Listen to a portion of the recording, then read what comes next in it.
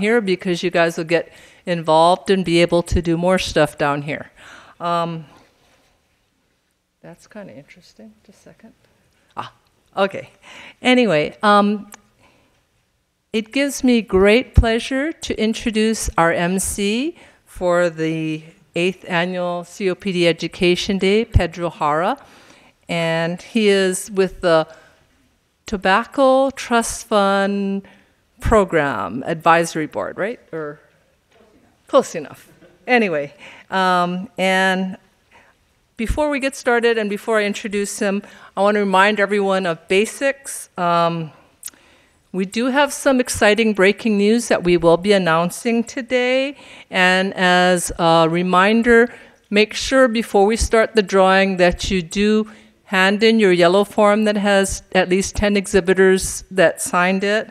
And parking, make sure you're parked in a legal space because we really don't want anyone towed. If you have questions about parking, you can ask at registration.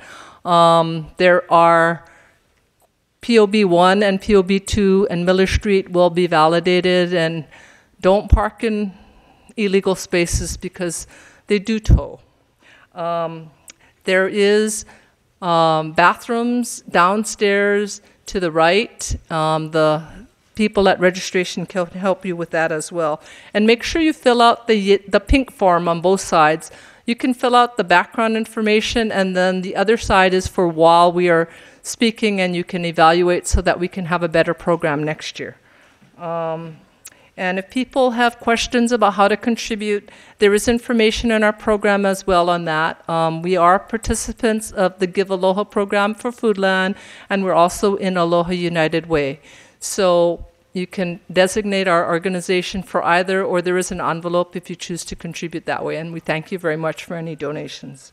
Um, and we are fortunate to have the voice of community theater, Pedro Hara.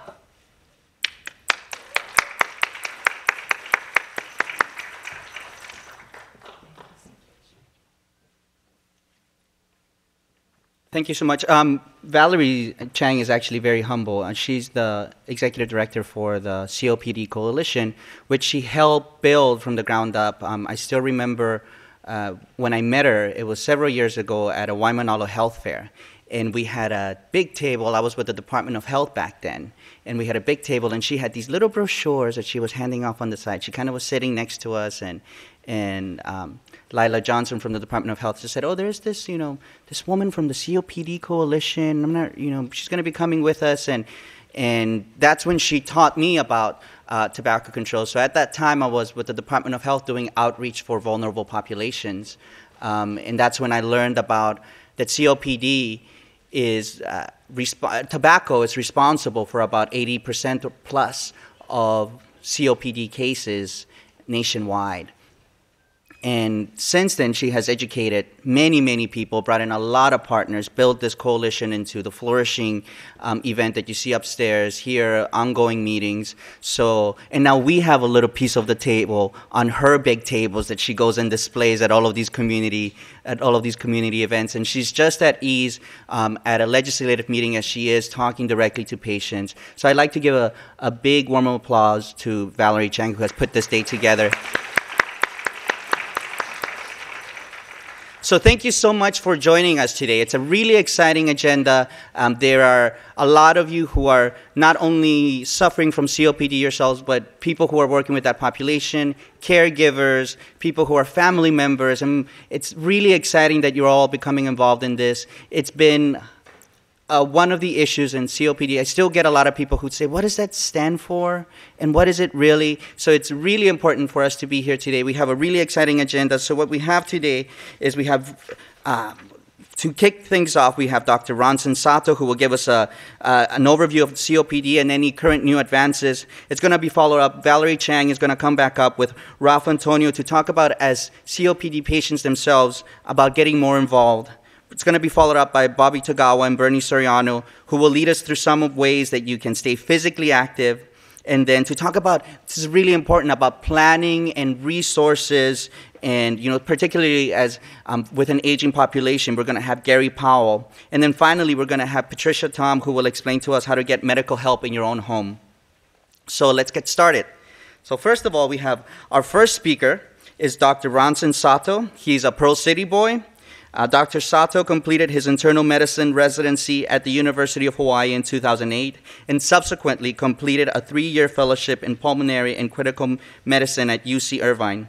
He then completed a postgraduate fellowship at Stanford in sleep medicine. Dr. Sato is in private practice at the Queens Medical Center and Kuakini Physician's Office Building. He also serves as the program chair for today's event and will be providing us an introduction to COPD and the latest update and medications available. Please give a warm welcome to Dr. Sato.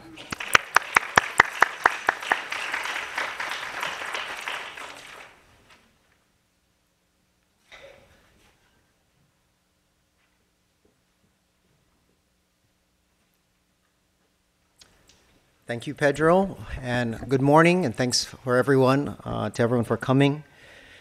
Um, I'm going to talk to you a little bit about COPD, uh, how we diagnose it, how we manage it, um, and my goal is to give you uh, a basic understanding and an appreciation for COPD, so that can help you to help manage yourselves and hopefully uh, help to educate others as well. So why are we here? We're here because COPD is important. Uh, it's a common disease and affects more than 5% of the population in the US. It also kills more than 120,000 people per year and is the third leading cause of death in the US. Uh, so it's important that we diagnose and manage people because by doing so, we can help improve symptoms, reduce exacerbations, it improves health status, uh, improves exercise capacity, and also improves survival. So, what is COPD? It stands for chronic obstructive pulmonary, pulmonary disease and is characterized by usually progressive airflow limitation due to an enhanced chronic inflammatory response in the body. Now, one of the, the big things to remember is that it's preventable and treatable. So, what this image shows here is on the left, a normal looking airway versus a person with COPD on the right. and what I want you to, what it tries to illustrate is that in a normal airway, you have cells which line the inner airway wall, which secrete mucus to help lubricate the airway, and is also encircled by smooth muscle, and that can constrict to help protect the airway. These airways terminate in small sacs called alveoli, and that's where uh, gas exchange occurs, the exhalation and uh, exit of carbon dioxide, and where oxygen enters. Now, in a person with COPD, uh, the airways are in a state of chronic inflammation. So the cells here that produce mucus are at an increased amount. So you have more mucus production. And the smooth muscles also are constricted and tight so that it narrows the airway, inner airway space. That together contributes to more airway obstruction with inhalation of irritants, either environmental, occupational, tobacco, uh, that can lead to airway wall destruction and further airway collapse. And the more you inhale these chronic, uh, these irritants and cause inflammation, that has a higher risk of leading to lung scarring. So this is, I wanted to depict a more three-dimensional image of, in this case, on the right side, a normal airway. So here you have a big open inner airway space, so um, unrestricted airflow, compared to an airway that's inflamed. So you got smooth muscle contraction, narrowing the inner airway space, cells which are producing more secretion, more mucus, which further obstructs the airway, uh, which can contribute to the symptoms that people with COPD have. Now, COPD is actually uh, encompasses a group of different lung diseases that includes emphysema, asthma, and chronic bronchitis. And they, what they all have in common is this state of chronic inflammation that contributes to the symptoms and the, the physiology that we see. Now, again, looking back at that airway in a normal, healthy individual, you have these airways that lead, that terminate into alveoli, which are the sacs, again, that exchange gas. Um, and compared to somebody with COPD, airways are inflamed, you have increase in those number of cells that produce secretions. So you have increased mucus production, a lot of smooth muscle tightness, constriction, which narrows the airway. and in terms or in cases where you have this chronic state of inflammation, this can also lead to damage of those alveolar sacs. So you see a lot of destruction of the airway walls, and that leads to non functional airways.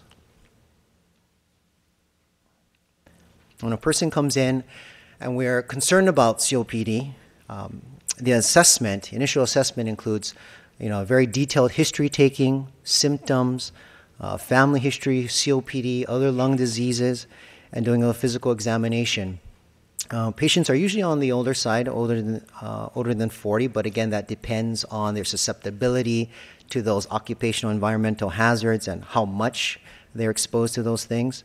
Uh, and on exam, oftentimes the, the lung exam, which you think would be where the money is, is pretty normal. Sometimes you can hear some wheezing, some crackles. Um, a chest might be hyperinflated, what we call barrel chested. Um, but, you know, that's uh, different things to kind of key into. Uh, risk of exacerbation. So we're looking for risk factors that might contribute to COPD or other kinds of lung diseases or other disorders as well associated comorbidities. These are medical conditions that are associated with COPD, like cardiovascular disease, osteoporosis, uh, mood disorders, depression and anxiety, and lung cancer. We also have the benefit of using diagnostic studies to help to differentiate between these different lung diseases and other disorders as well. Um, spirometry, which are lung function tests, imaging tests like x rays, CT scans, and blood tests. So, the most common symptoms of COPD number one, shortness of breath or difficulty breathing, especially with activity or increased exertion, chronic cough, and increased mucus production. Uh, less common are things like wheezing, um, and depending on if you have associated uh, illnesses like an infection, you can have fever, uh, but very uh, much less common. Risk factors. Well, number one, cigarette smoking. I think Pedro already mentioned. Um, you know, COPD is associated, or 80% of the people with COPD have either smoked or are current smokers. Uh, but there's other things that can lead to uh, COPD exposures to organic and inorganic dust, fumes, chemicals, and these are particularly biomass fuels, these are biologic materials. Um, and in the end, uh, outdoor air pollution actually contributes relatively uh, a small amount to that kind of risk. So, some of the diagnostic studies and the tests you may have already heard about or performed. Uh, the mainstay is pulmonary function tests or breathing tests that we do. Uh, we'll talk a little bit more in detail about that. Blood tests, and in particular, alpha 1 antitrypsin. This is a protein that helps to protect the lungs, and when it's deficient, that can lead to uh, airway destruction. And blood tests looking for other disorders as well, separating um, lung disorders from cardiovascular disorders, looking, uh, you know, ruling out uh, CHF or other disorders as well. An oxygen assessment, you know, assessing how well the lungs get oxygen from the air you're breathing into the bloodstream, and then imaging tests. So, pulmonary function tests, um, and in particular spirometry, can range from an extensive, uh, complete form where you're in a booth uh, and you have a tube in your mouth it's really accurately as, as best as pos- possible trying to monitor the amount of lung volume in and out uh, to a more convenient type the handheld spirometers that some of you may have done in your doctor's office. Uh, that's usually pretty uh, at least adequate to diagnose and assess the overall severity of airflow obstruction So the GOLD system is a system that categorizes patients with COPD based on the severity of airflow limitation. It's also used to assess uh, response to medications and can be used to monitor disease progression.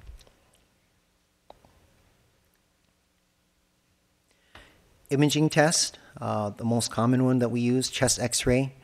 Again, this is an x-ray on the left of a, a normal chest. Um, and just so you get a basic understanding, you guys are going to be experts in reading films as well. The X ray helps to differentiate between different organ systems based on density of tissue. So the most dense tissue appears white on an X-ray. So that'd be the bones, spinal column, the ribs, the chest wall, and fluid-filled organs like the heart, abdomen. And com- in comparison to the least dense kind of material, which is air in the lungs. So the lungs, which are supposed to be filled with air, are primarily black. So you can see the dense tissues, especially with the lungs, because of the background of air filled lung. So it helps to really stand out to see what the, the lungs look like. So this would be a normal lung and a normal chest x ray compared to a chest x ray with COPD. And I think the biggest difference you can see is that the x ray on the right shows lungs that are really elongated, really extended. And we call that hyperinflation.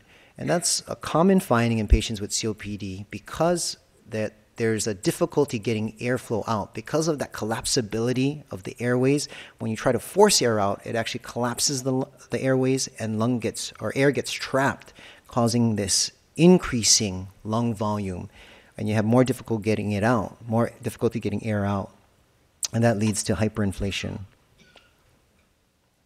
CT scan. Now, CT scans are a little bit different uh, but have a similar concept. It's a three dimensional, cross sectional cut of the organ system that you're evaluating. The most dense tissue, again, appears white, and that's going to be your spinal column. So this is the back, and this is a cross section of the chest, the heart, chest wall. And all this kind of grainy gray tissue is air filled lung. Now you can see this is probably somebody with mild or kind of early stages mm-hmm. COPD. So you have these pockets here which are really black. And again, black is least dense. So this is air. And these are areas where you have pockets where there's no functioning lung tissue. And it's illustrated here by these arrows. And so those are areas where no lung tissue, they've been destroyed, versus the CT scan on the right, which shows a lot more advanced destruction. And these are like blisters, if you can imagine, in the lung tissue where there used to be functional lung tissue, but now are just big cavities that don't work. So, moving on to treatment. Um, so, a lot of these treatments are, are things that have been in place for a while. Number one, smoking cessation. We mentioned how much smoking contributes to COPD overall. And it's something that's doable. That's something that people are doing to themselves, that if you can cut down or quit, it has huge benefits on health. Oxygen, oxygen therapy, which improves symptoms, quality of life, can, and can also improve survival. Medications, and that includes inhalers. Uh, the two major classes are your uh, smooth muscle relaxants that help to open up the airways and anti inflammatory inhalers. Mucolytics are medicines that help to break down mucus so it's not as thick and tacky. And steroids, also, this is oral or IV steroids, and you really have to suppress that inflammation. Vaccinations. Vaccinations are important because people with COPD don't do well when they get flus or pneumonias. And getting a flu vaccination can uh, decrease your risk of getting flu by 76%. That's really important. I always stress um, my patients to get the flu vaccination when it's available, antibiotics when it's appropriate, physical activity, pulmonary rehabilitation. Uh, this also helps dramatically to improve symptoms, exercise capacity, and also has been shown to improve survival. Surgery, and this can range from lung resection surgery uh, to transplant. Now, lung resection surgery uh, really focuses on trying to remove those pockets of non functioning lung that you saw in that CT scan and really focus on leaving normal functioning lung. And by doing that, that reduces the wasted resources of the body to uh, keep those uh, non functional areas going. So it really tries to focus on um, directing your resources, the circulation, oxygen to functional lung.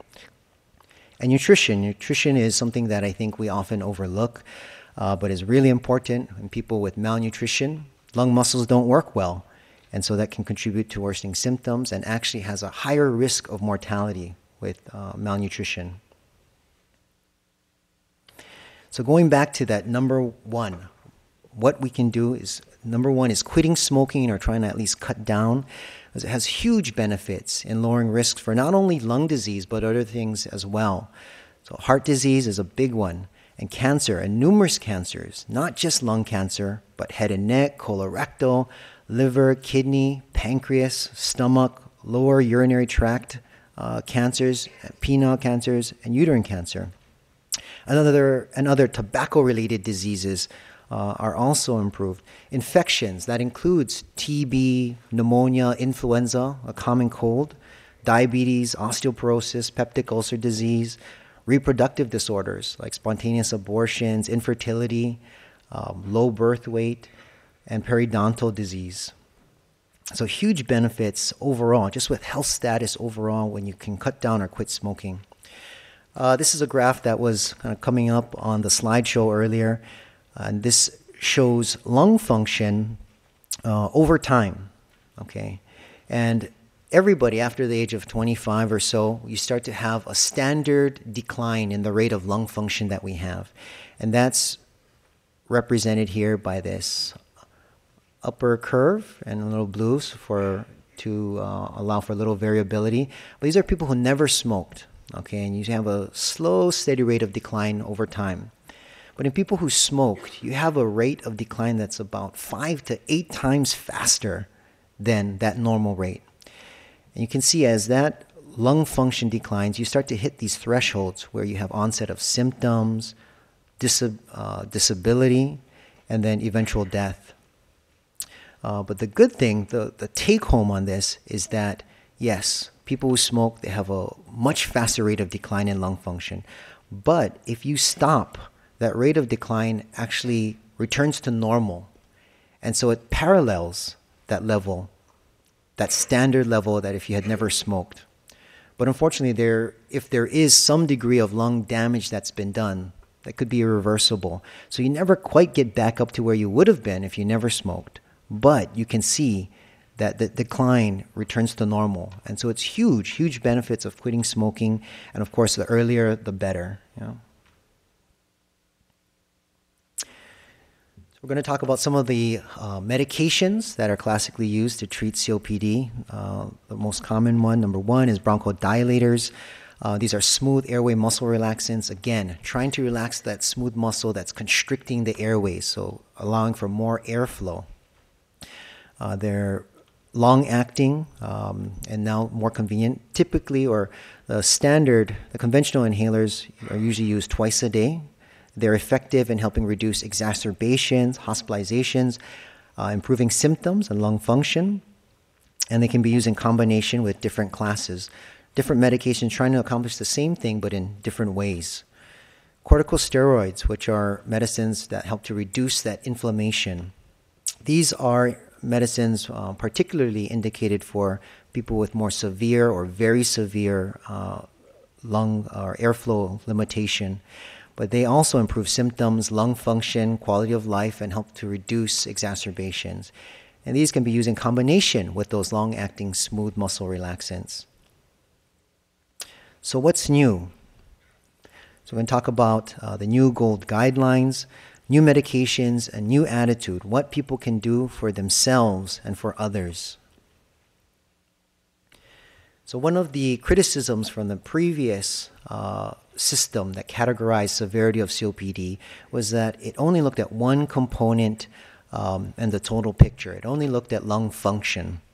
Now, in this new system, we try to categorize people based on risk of recurrent exacerbations, and that's based on frequency and severity of symptoms, um, again, still including in lung function and history of exacerbations. And that helps to try to stratify and work as a guide to how to best manage these patients.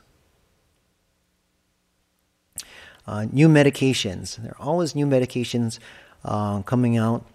I think these newer ones are centered at trying to improve compliance and, of course, effectiveness.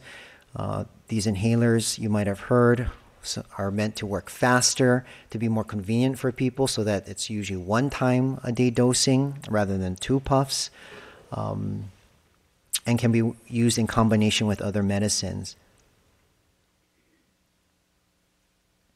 And there is some data suggesting um, that combination therapy is better than uh, single uh, therapy, especially depending on the severity of your of COPD. So not, a lot of new medications trying to put together smooth muscle relaxants and anti-inflammatories, and now inhalers that even include two different type of smooth muscle relaxants. And again, trying to focus on convenience for the patient to improve compliance. So one once a day dosing if possible, and even triple therapy, three different medications rather than just two, and which has shown to improve lung function, which can then hopefully translate to better symptoms, better exercise capacity, quality of life. Uh, roflumilast or Daliresp, it's a pretty unique medication and also, but still works as an anti-inflammatory for patients with severe COPD and chronic bronchitis. And this can be used in combination with other inhalers um, to prevent exacerbations. And I wanted to talk a, a little bit about e-cigarettes because it's been on such a, a, rise in the last several years. And I get a lot of patients that ask me about, you know, the benefits of e-cigarettes. Is it harmful? Um, so just a little bit about that. Uh, it, they're battery operated. They work um, when heated. Liquid nicotine, and that's held in a cartridge, turns into vapor and is inhaled. That liquid nicotine is highly toxic and can be inhaled or absorbed through the skin. And it's nicotine, so it's still highly addictive but honestly, the health risks are still relatively unknown. Um, and I think the big part of it, the big problem is that a lot of these devices are unregulated.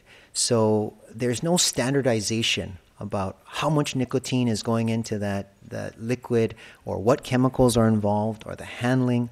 And so it's very, um, I guess, unknown as far as trying to standardize what, what would work, what benefits there are, and you know what the risks are.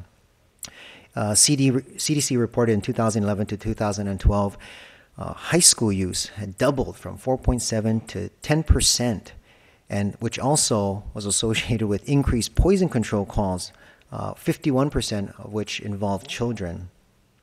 And to argue potential benefits of e-cigarettes, uh, there have been studies that suggest secondhand e cigarette smoke may be less harmful than conventional cigarette smoke. Uh, there's about 10 times less carcinogenic chemicals, uh, that includes lead.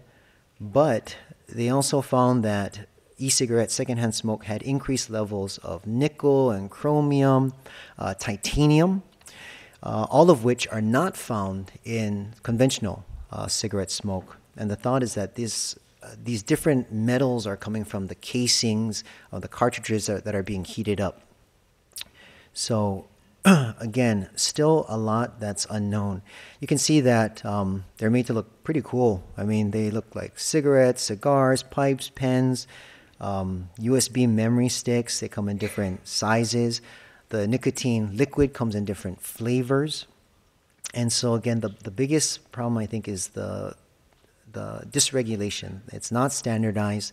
Uh, you don't know what's going into that, that fluid, the liquid, how much nicotine's in there, other chemicals. And the concern is that it could be a gateway to other tobacco products as well. So recently, um, the FDA published proposed regulations on e cigarette use. Uh, that people be at least 18 years of age, and this can be variable by state, and that um, could be higher. Uh, all new products are registered with and reviewed by the FDA. That none of these products are distributed in vending machines and no free samples are distributed. That they require health warnings uh, listing the potential addiction to tobacco, and that they must provide scientific evidence before making claims of direct or indirect benefit. But uh, in terms of you know the current status, it's um, primarily dependent on the person taking that risk if you're going to use these kinds of um, products. A new attitude, maybe the most important part of taking control uh, and helping yourself is to take charge. Um, now, with smartphones, iPhones, and iPads, the internet, there's so much more access to information. And so, oftentimes, people know what to do, but don't do what they know. Uh, so, you know, I really stress that a lot of times it's just a matter of doing it, executing what you know uh, can help. Uh, there's a push again for combination therapy using more than just one medication to optimize your symptoms, reducing exacerbations, improving lung function. Uh, physical activity is almost always better in any kind of disorder. Um, you know, pulmonary rehabilitation, being as active as possible, physical therapy, whatever it is, usually always does better than just being sedentary. And that's not just with lung disease, but other diseases um, and illnesses as well. And then work following up with your physician to work together to really optimize and you know create a plan to help manage yourself. Okay, and that's it. Any questions? Okay, okay. So I think we'll have some time for questions uh, at the end. All right, thank you.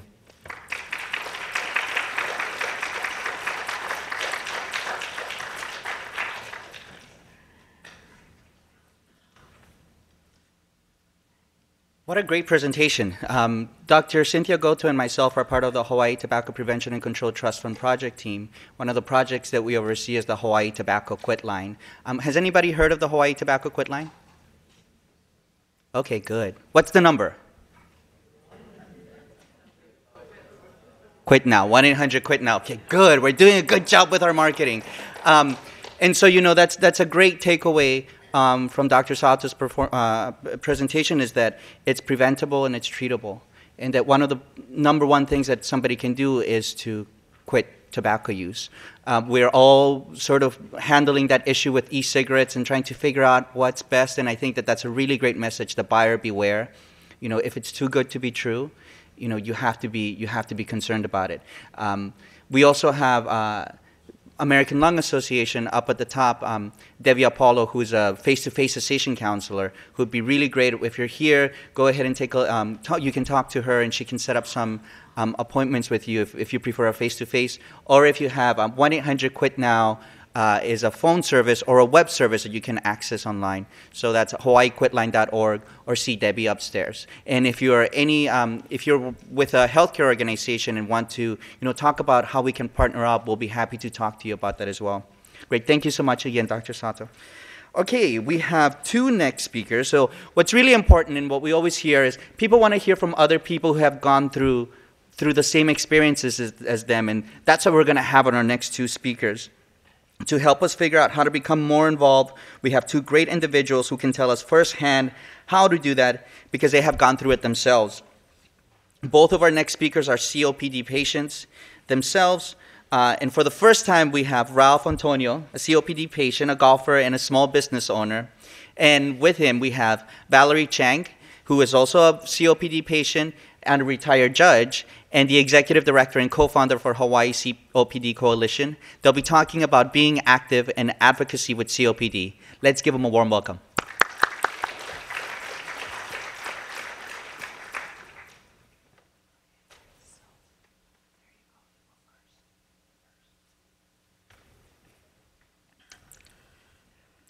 Hello, I'm Ralph and I have COPD.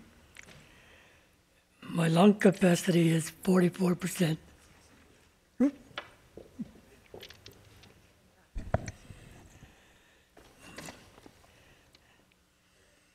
it go back. Go back. I don't know how to make it go back. Hmm. Oh, I can go back. Oh, well. Oh, I know.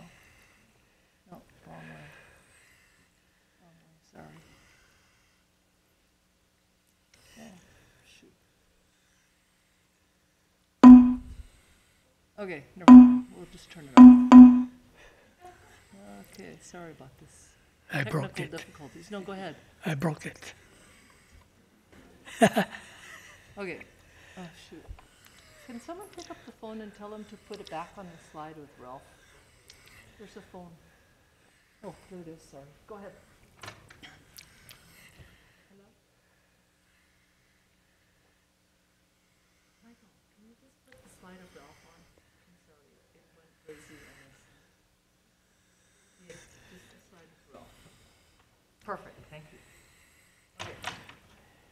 Hello again.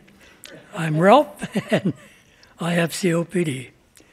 My lungs capacity is 44, 44% and it's severe. At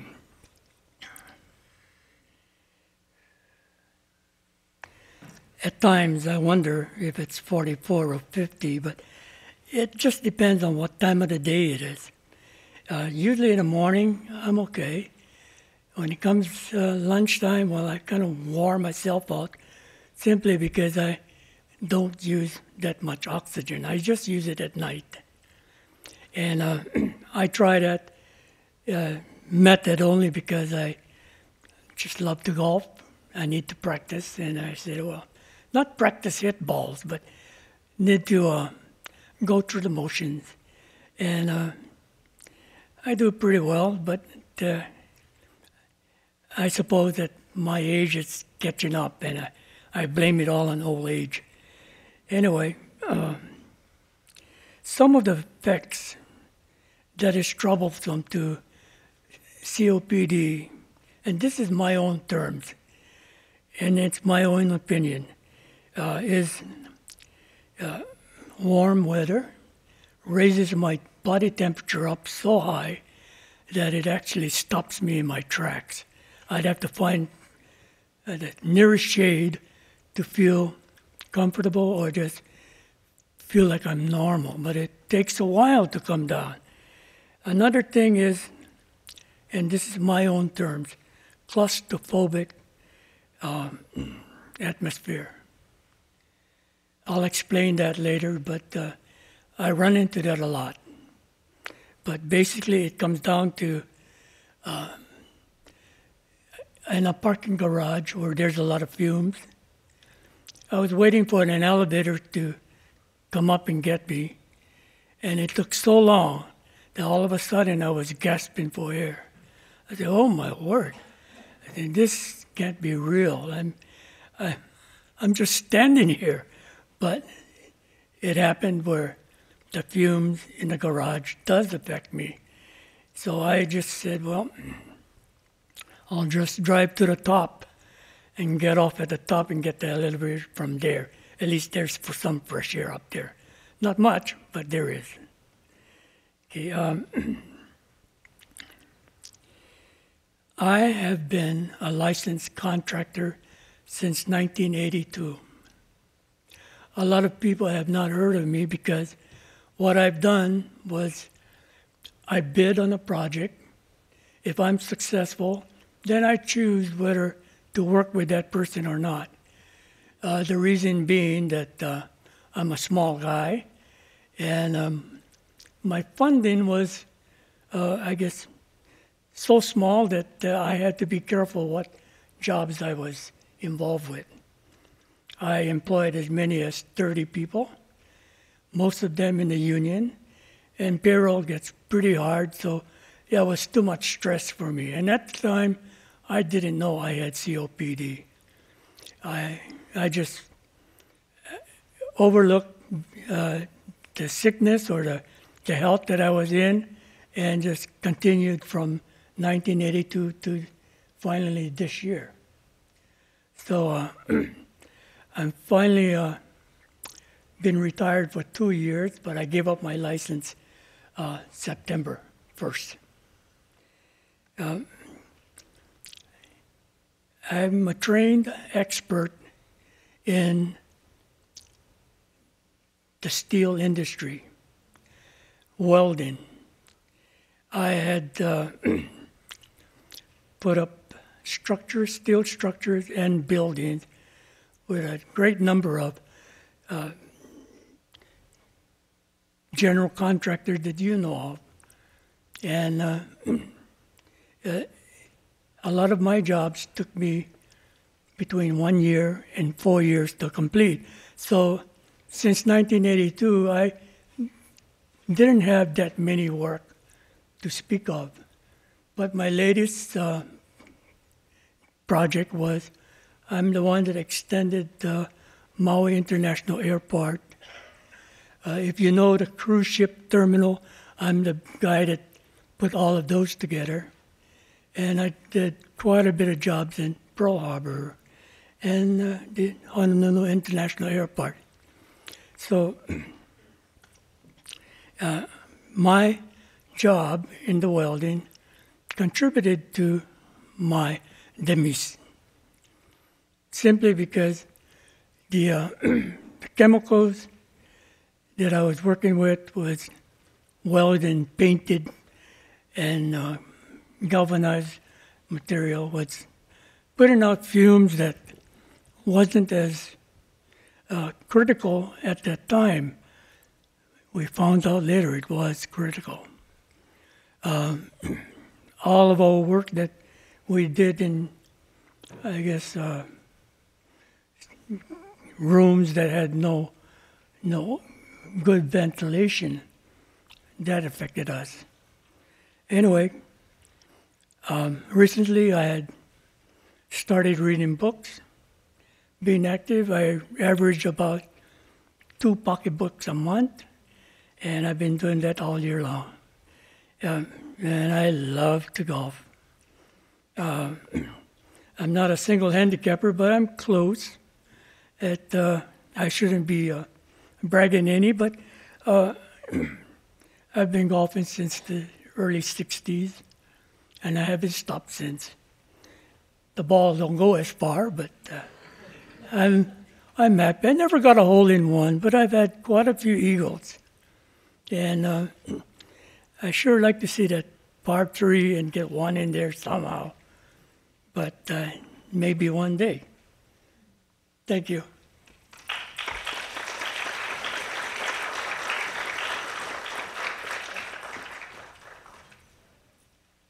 Thank you so much, Ralph. Um, now let's see if we can make this work.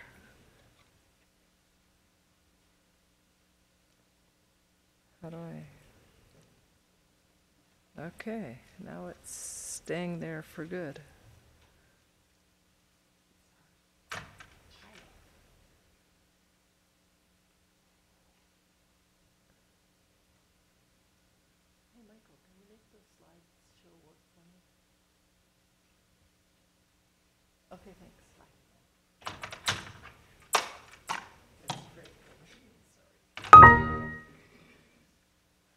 Okay.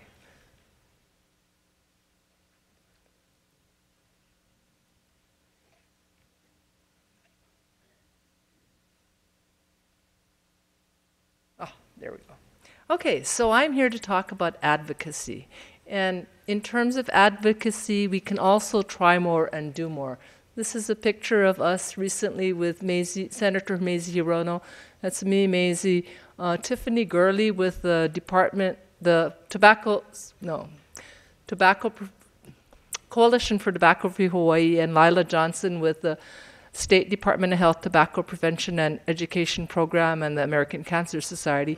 We went to talk to uh, Senator Hirono about lung health issues because um, she Senator Hirono has joined the C- U.S. COPD caucus, and she is one of our, our strongest advocates of lung health, and we want to keep her informed about the latest issues. Um,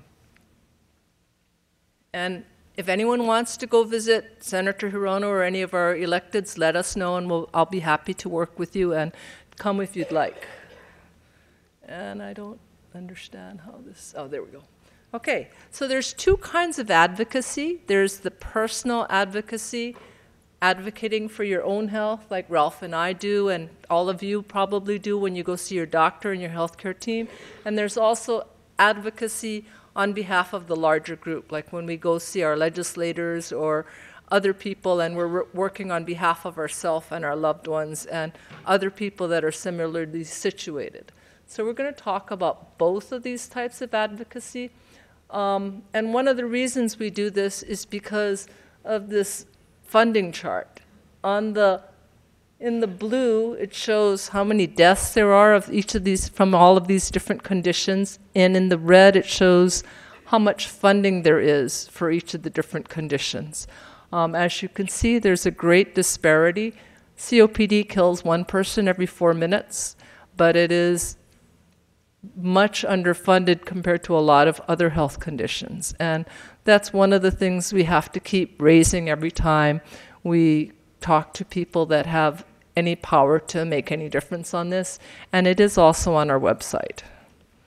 Um, to do personal advocacy so that we can stay as healthy as we can and go to the golf course, um, We need to work with our partners like Dr. Sato, the respiratory therapists, um, and all the other people on our team, including the pharmacists. That's why we have the people that are here for this um, event. We do have pharmacists because they are an invaluable team member.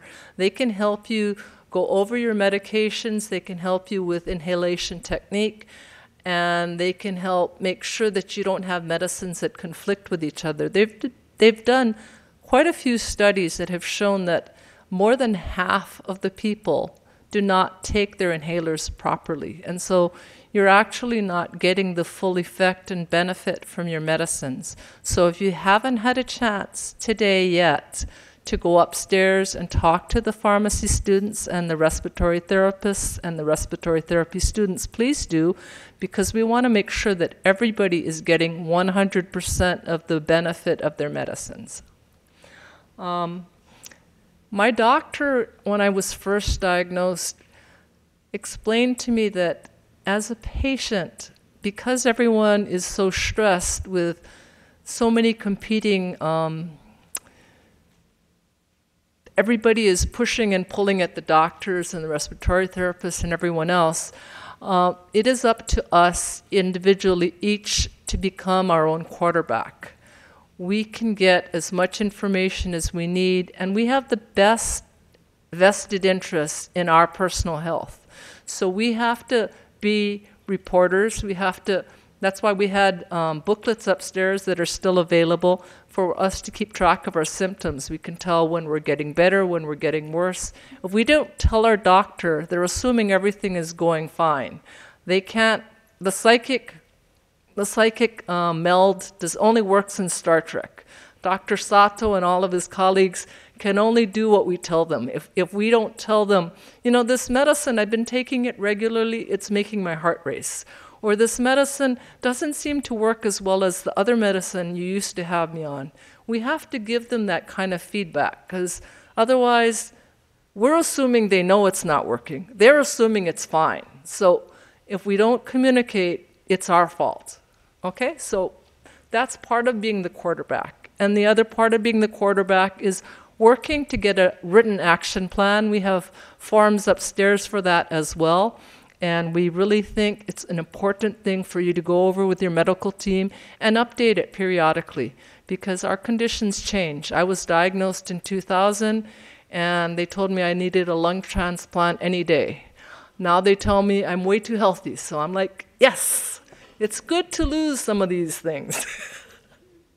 um, we have breathing hui meetings. We welcome people to attend them. They're once a month at two locations, Kaiser and Honolulu on Pensacola, and um, we also have one at Pali Momi.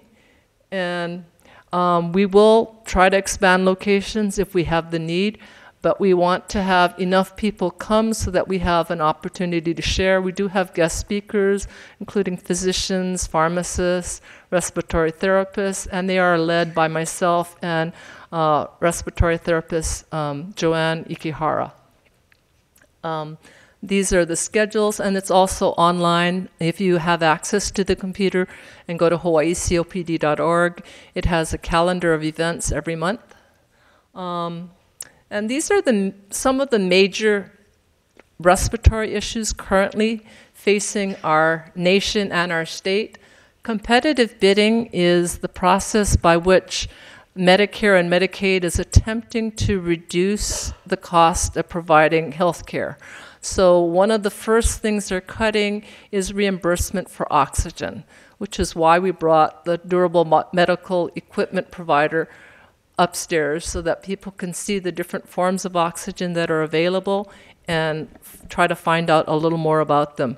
Um, and one of the problems is because they're cutting the reimbursement so much and they make everyone bid. Our state used to have over 100 providers, and now we have about 10 or 12. So it's a real problem. On the other, on the neighbor islands, I believe there is only one provider left that's providing um, all forms of durable medical equipment, and, and, that's for Maui and Kauai, and it's it's becoming a growing problem. Um, So we're trying to work with our electeds about that issue, and um, we're asking that locally that there be a Hawaii presence when there is a durable medical equipment provider because right now several of the people that have won the contracts only have employees in Texas or Florida or wherever they're based. And it's a real problem if you need uh, repair to your equipment that's in Honolulu and their nearest person is in Texas or Florida. And you're like um when are you going to get that part to us? And they're like well yeah well we'll get to it when we get to it. And you're like that's not going to work so well. Anyway, so we're working on that. Um, we're also trying to make sure that respiratory therapists can get reimbursed. Right now, people that um, consult on diabetes can get re- reimbursed, but respiratory therapists cannot be reimbursed as a special, you know, like uh, like you can reimburse for tobacco counseling, but you can't reimburse for respiratory therapists working one on one with us so that we understand how to use everything, including the oxygen, as well as possible. So we're trying to work on that. Um, and we're also working with the various partners so that people have clarity and consistent rules about cigars and electronic smoking devices, which Dr. Sato touched on. Um, let's see. And we do need your stories and your help. And if you contact me either by email or by phone or come to our support group meetings, we can actually be more effective than if it's just one of us shouting in the dark. Um, and these issues keep coming up because we really need to work together with our national partners to try to make some changes. Um, we are working with our Hawaii State Strategic Plan on COPD as well, and there again, we have the funding graph. Um, and it surprises a lot of people that there are over 46,000 Hawaii adults that have been diagnosed and likely an equal number that have not yet been diagnosed. And it does cost our state almost $56 million every year for ER and hospital visits. Um, there is an exciting new thing, which is COPD gene, and it is a research study that is funded by the National Institutes of Health. It involves 10,000 people, and it's by Dr. Ed Silverman and um, the National Jewish. Dr. Silverman is at uh, Brigham Women's and Children's, which is the medical school for Harvard, and this is the video of it. We hope it will run.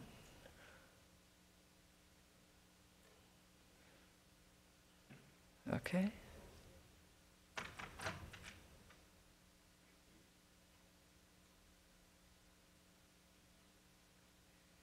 Hi, Michael.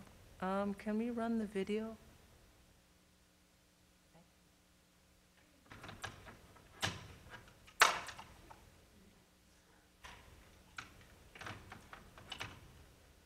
Anyway, this video is available on YouTube if you look up COPD gene, um, and it is by Dr. Ed Silverman.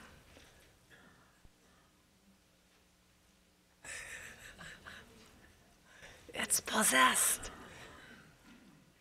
Anyway, um, and also on the COPD Foundation, oh, he's doing it. The COPD Foundation website, you can sign up if you want to be particip- contacted about possibly participating in uh, COPD research. COPD stands for chronic obstructive pulmonary disease. It's a syndrome that includes emphysema, where the lung is destroyed and replaced by holes. It includes chronic bronchitis, where people have chronic cough and sputum production. And it includes small airway disease, where the small bronchial tubes get narrowed and damaged. So different COPD patients have different combinations of those three things, but they uh, cause airflow obstruction. It makes it hard for them to blow the air out hard and fast, which makes them uh, short of breath and, and, and, leads to a variety of other health problems. And it's a, it's a, major cause of death. It's the third leading cause of death in the U.S., major cause of, uh, of uh, loss of time from work, of disability, uh, and, and other healthcare costs. COPD gene is a study of more than 10,000 volunteers who are getting careful uh, genetic assessment using state of the art methods, state of the art imaging with CAT scans, and then a variety of other clinical tests like questionnaires and, and, and breathing tests so that we can try to understand why some people get COPD and others don't. I think this is really the, the largest sample of, of, COPD subjects that have ever been well characterized, uh, certainly for a genetic study ever assembled, and that this really has been built as a national and international resource with all the data being deposited into uh, NIH repositories so that people can get access to it. Volunteers were incredibly helpful. I mean, th- this research would not have been possible without the, the in- incredible support from uh, the, the, general population. And, and 10,000 people to be recruited over a three year period was a huge effort. Uh, Two thirds of the people were, um, were non Hispanic white, and one third were African American. Um, we had a close partnership with the COPD Foundation. It's a, a patient uh, run organization that really helped us launch the COPD gene study. It provided support to help us get recruitment for the study, and uh, really every step of the way has been a, a, a critical ally for, for our work. So I, I think that, um, that there, there's just uh, no way of, uh, of, of, of, overemphasizing the importance of, of, volunteerism for this work. If we hadn't um, had enthusiastic support from our volunteers who you know, gave the, their own time to come in, uh, get a CAT scan, go through an extensive array of tests with breathing tests and walk tests and a long list of questionnaires, uh, if, if, they hadn't been willing to do that, we, we, we just couldn't do the work. So I, I think that people need to understand that medical research isn't something that, that happens out there by other people. If, if, they want if they want new medical discoveries, they should really consider getting involved. They, they should consider being part of clinical trials, consider being, being part of these observational, uh, epidemiologic, and genetic studies, because that's the only way we'll really learn things and we'll uh, advance medical knowledge.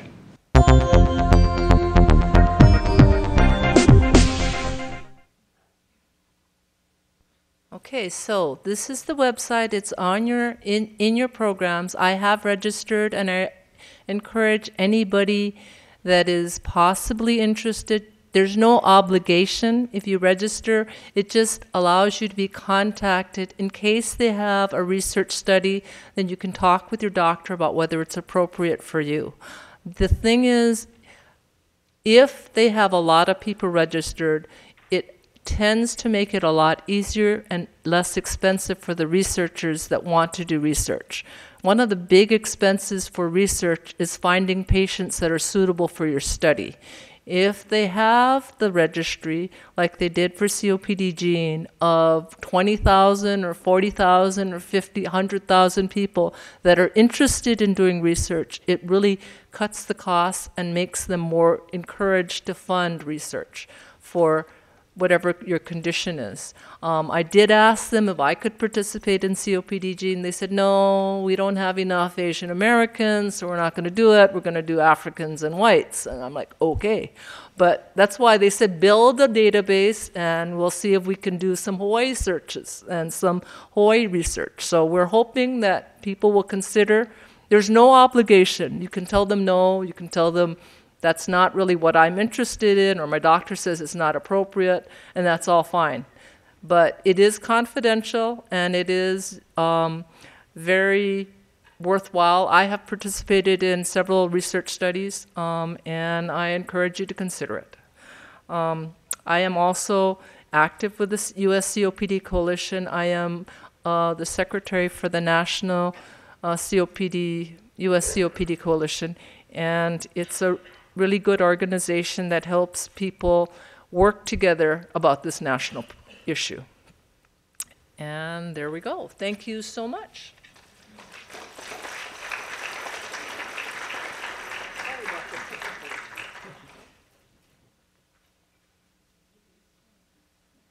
Great job with the ghost presenter, Valerie. Um, Thank you very much. It's very important to be able to hear from people who are going through the issues themselves, and a lot of you that are working to work with um, people with COPD.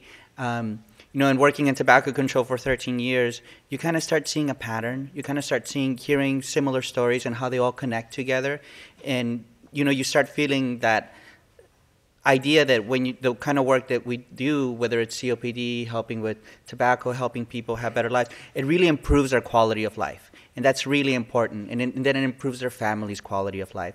So it's really important work that we're doing here today. So thank you very much for both Valerie and Ralph for, for uh, being brave enough to share your story.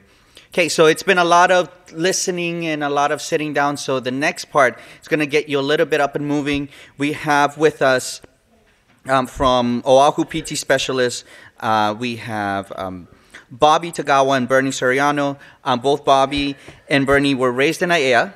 Uh, Bobby graduated from the University of Pacific Stockton California with a master's degree in science with an emphasis in physical therapy, while Bernie has received his master's degree in physical therapy from Mount St. Mary's College in Southern California. They are co owners of Oahu PT Specialists and have helped many, many people get up and moving. With tips on how to exercise safely and effectively with COPD, let us please welcome Bobby Tagawa and Bernie Soriano. I have the note I, maybe you touch that. This? Maybe. Oh, maybe not. Let's do this. There, there. What do, what do you do? You just click that one. Yeah. Oh. Are we using this or are we using that?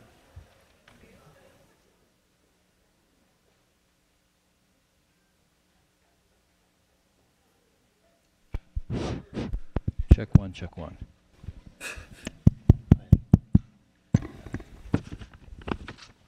So I'm Bobby Tagawa, and this is my partner Bernie Soriano. Hello. And um, don't mind me if I'm moving back and forth because I cannot stay still. Okay, that's just how I roll.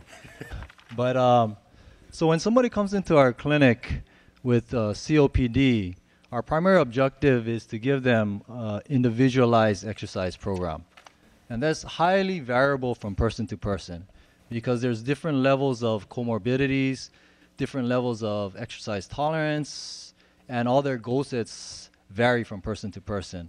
So you definitely gotta customize the program to them. Uh, today, um, we're gonna go over some some breathing exercises and its application to movement and your daily activities. Um, but with that being said, you know, why why exercise? You know, uh, I get this question probably every week with uh, our patients that come in with COPD. I have COPD. This is an irreversible condition. You know, how is exercise going to help me? You know, yes, COPD we know is irrevers- irreversible, but the um, the effects and how it affects your um, activities of daily living we can address because there's many factors associated with just getting moving besides just your pulmonary condition one of which is your neuromuscular system and your cardiovascular system both of which you can make adaptive changes even with reduced pulmonary function Okay. so going back to that high variability you know you, we would customize programs specific to the individual and it can be daunting when somebody with COPD who gets tired very quickly just from standing up or even sitting unsupported to hear those words exercise. You know, and we understand that because in the traditional sense, you know, exercise can be associated with can be associated with some gym programs like a treadmill, stationary bike, let's do some light weights, go for a walk. Well, some some individuals can't even sit. So it's hard to expect them to go walking for 15 or 20 minutes. You know, and with that variability, even as examples, you know, we have a patient right now. Her primary goal is to be able to take a bath independently. She requires oxygen and assistance to take a bath from her daughter, and she's 61 years old. So that, that can be quite challenging to cope with. You know, but we tailor her program as an interval program, meaning that her inability to sit for long periods of time is not only associated with her reduced pulmonary function, but she has reduced trunk strength, she has reduced hip flexibility, all of which you can make adaptive changes with progressive exercises associated with those impairments in physical therapy. So what we did was we started her off on just a graded task such as sitting for five minutes or five seconds in a neutral, you know, um, ergonomically correct position as far as sitting is concerned, unsupported. And then we gave her intervals of rest, you know, like one to two minutes. Then we bumped it up to 10 seconds, interval for one to two minutes of rest. Then we bumped it up to 15 seconds. This program essentially encompassed um, what she did at home. So she would do those three reps maybe every three hours. And eventually she was able to get up to the point where she could sit for five minutes unsupported. You know, now she is still far from her ability to take a bath independently, but she's making graded steps to get there. As opposed to traditionally what you would think of as making progressive changes, such as continuous prolonged exercise. But you can still make adaptive change even with an interval program such as that. Whereas there's the other end of the spectrum, you know, there's people that are extremely high level, like my mother who's in the audience who has COPD. She can swim for like an hour.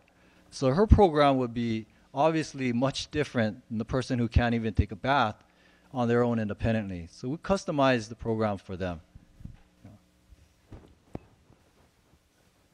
Yeah, so where, where do you start?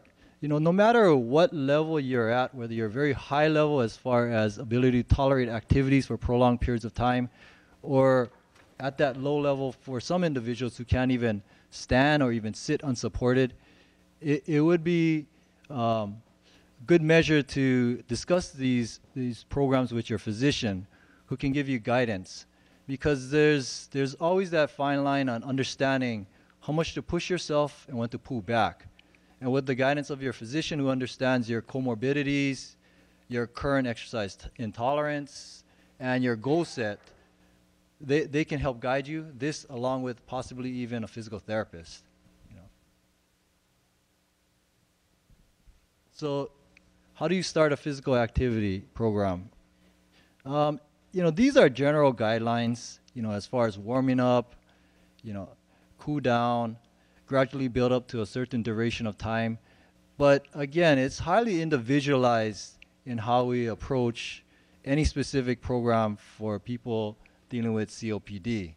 So if we had to generalize this, this is what it would be. But again, it, it, we highly suggest that you discuss this with your physician and they can customize a program, maybe along with physical therapists, to tailor your needs. Some general guidelines, you know, the, these basically follow suit with what I was discussing earlier, but at the, at the same token, this is, in a general sense, how you would approach exercise. But again, it's, it's, it's highly variable, highly individualized, and again, we, we highly recommend that you discuss it with your physician and how you approach getting started with activity in general.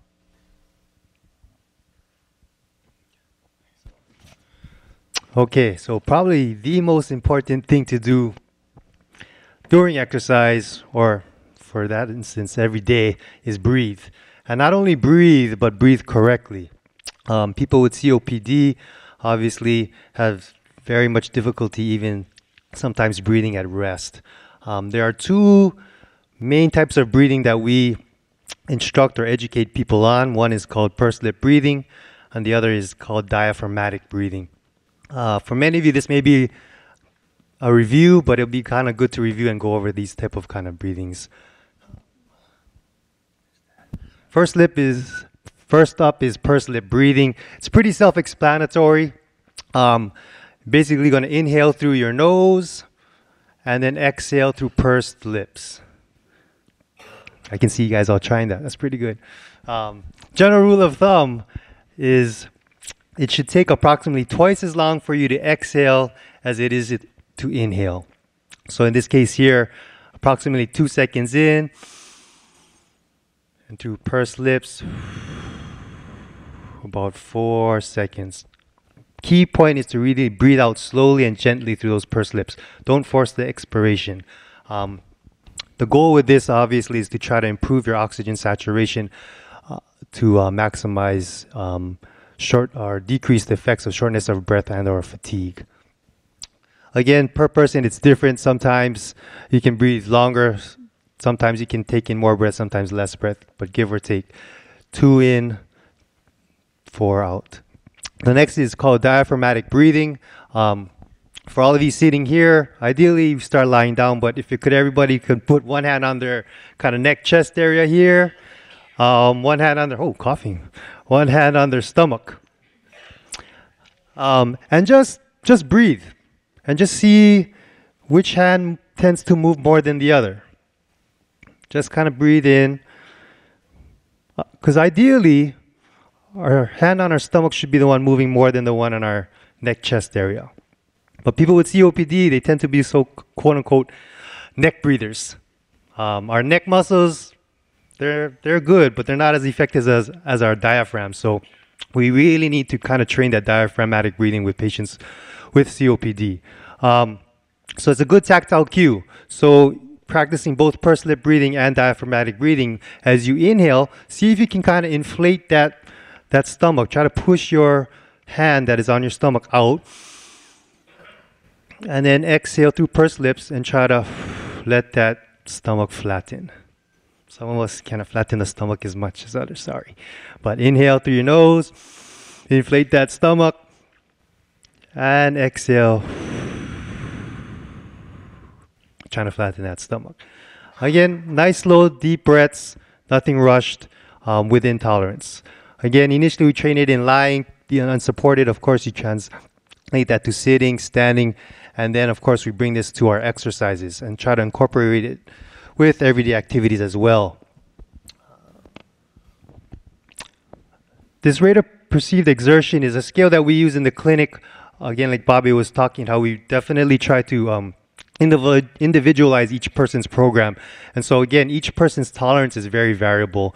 So, this scale basically helps to guide us and the patient to um, assess their rate of perceived ex- exertion. When exercising, again, in general terms, we try to keep it around a three or a four, moderate to somewhat heavy type of tolerance. And of course, we try to gauge that from treatment to treatment, day to day, um, and progress from there. Just another um, visual for that. So we'll try to incorporate some of the breathing with some exercises as demonstrated here.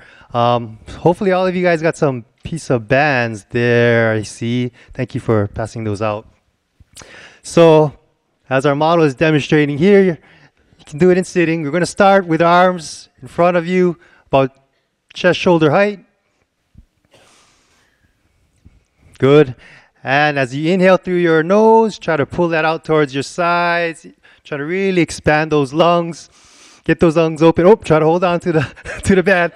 don't don't hurt nobody next door. Be careful. Uh, I forgot about the dangers of exercise. Um, and as, as you exhale, bring it back to the center or the starting position. Again, coordinate. When you inhale, you're bringing the band out to the side. Big chest. Exhale. Again, try to think about that. Two count out, four count release. And in general, again, usually try to perform between 10 to 12 reps, around three working sets. Like, again, very, very general guidelines, depending how. gotta watch out over there. Um, try to be, um, again, with each patient, we try to be real specific. Um, oh, yes. And I think, yeah, Valerie had printed handouts, so appreciate that. So it should be in the packets. Uh, one. Oh, too short? Oh, sorry. Budget cuts. uh, um, we got one more exercise. We don't have to demonstrate it here because we're all seated. It's just trying to see how you can incorporate that with a, something that we all have to do every single day. We did it probably around at least 20 times today when you guys are here. We all have to stand up. We all getting out of bed, out of the car, out of the seats, toilet, everything. Um, but basically, from a seated position to cube that diaphragmatic breathing, I have patient, we have patients put their hand on their stomach, try to inflate that stomach. And as they stand, they're going to exhale all the way to full extension. Um, if you guys can, if you guys can. Oh, sure. Those that can participate and stand, please try for sure. Um, so as you, before you stand, try to put your hands on your stomach for me first. Get the edges of your seat, feet planted firmly on the ground. Yep, and as you stand, try to exhale, breathe out through your mouth. And then as you sit, try to inhale back through your nose. Good. And then right back up. Exhale. Only 99 more times, guys. Let's go. one more time. And one more time. Perfect. Perfect. Again, general 10 to 12 reps, three working sets, very general guidelines. It just depends on each person's um, presentation. These are references if you guys so choose to see um, or look up, but otherwise, that's it. That's it for us. My name is Bernie. This is Bobby. Thank We're from Central much. All Physical Therapy. Appreciate you guys. Thank you.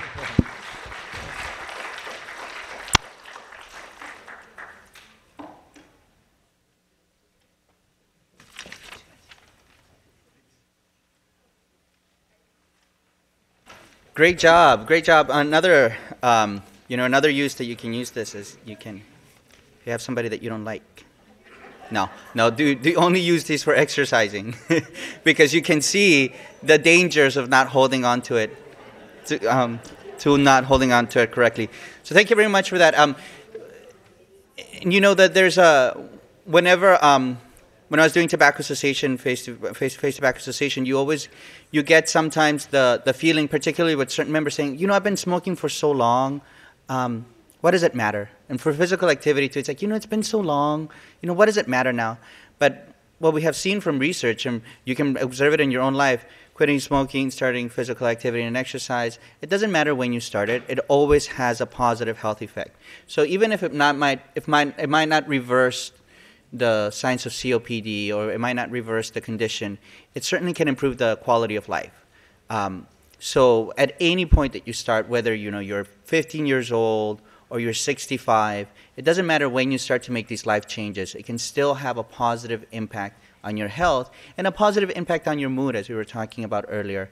Uh, so it's never too early to start. It's never too late to start. So next, we are moving into a very important area. Uh, we have uh, a next speaker who has helped many people figure out how to balance caregiving, resources, and money for folks as they get older and need a little bit more help. Gary Powell is a respected business professional, and his first-hand knowledge and exposure to the needs of caregivers has led him to create the Caregiver Foundation, for which he serves as the executive director. So we have today talking to us about caregivers, money, and resources. Let's please welcome Gary Powell.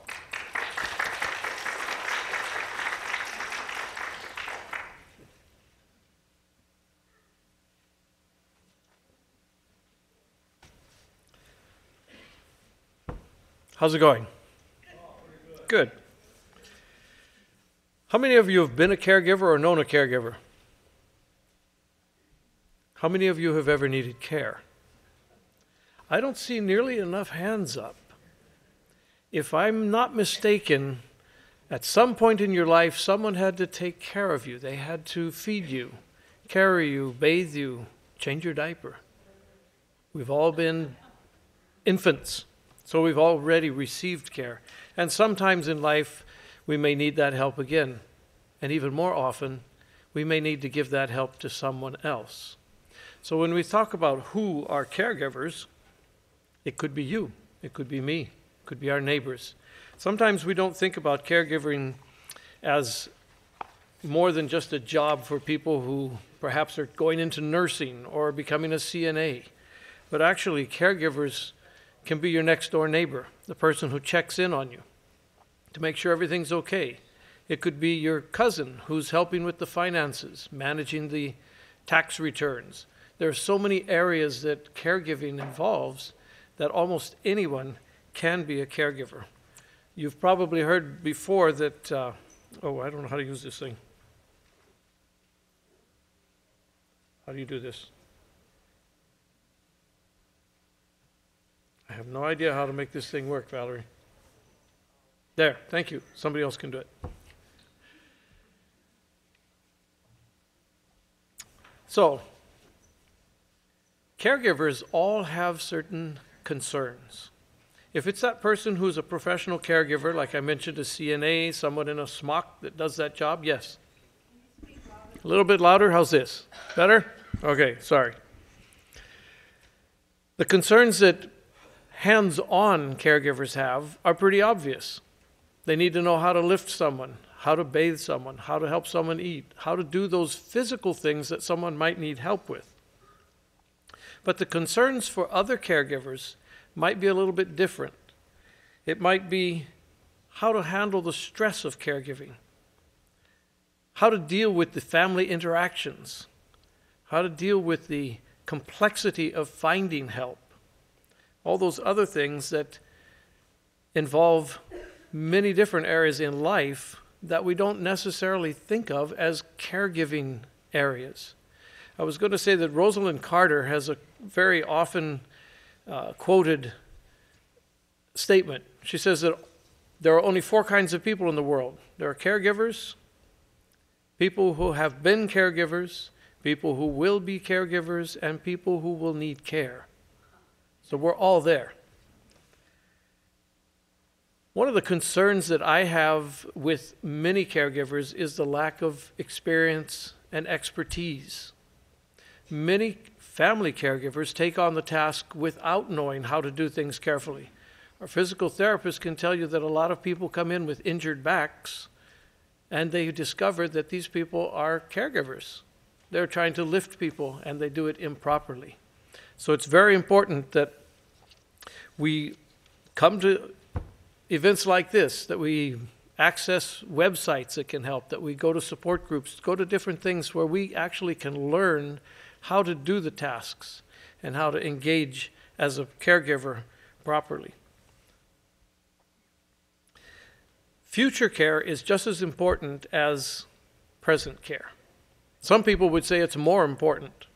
As long as I'm there, I can figure out how to take care of mom, or I can take care of my disabled child, or I can help take care of my friend.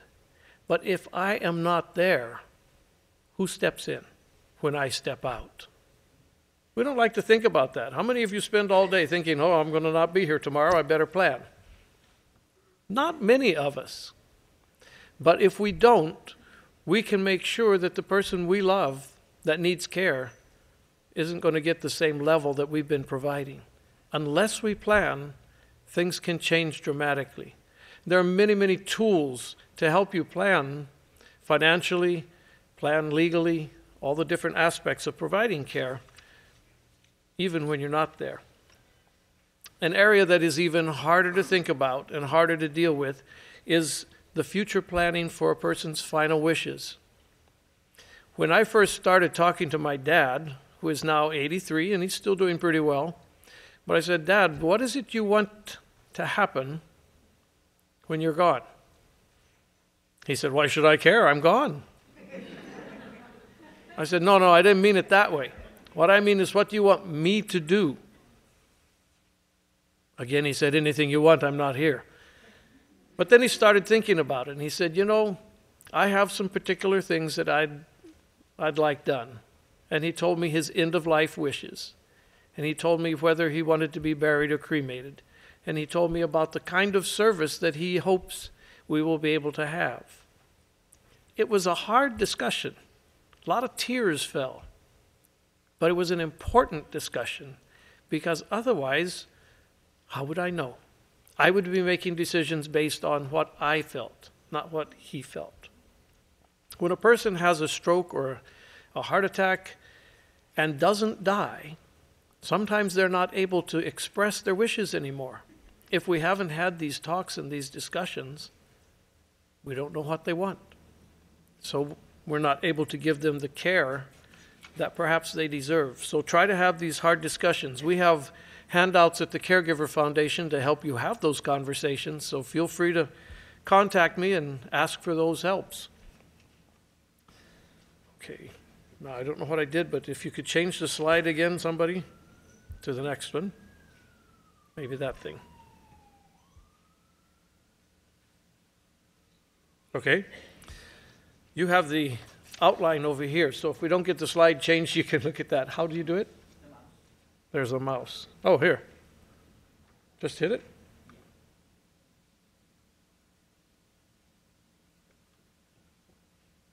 I don't deal well with computers. Just there? Okay. You'll probably have to do that again. Sorry. But caregiving and the providing care is expensive. How many of you have Hmm, let's just say about $3 million that you can afford to spend on care, no problem. Nobody. Boy, I'm disappointed you haven't planned well. we set aside money for different things, But most of us don't set money aside thinking that we are going to need care. Some people have been able to buy long term care insurance. Most of us can't afford it.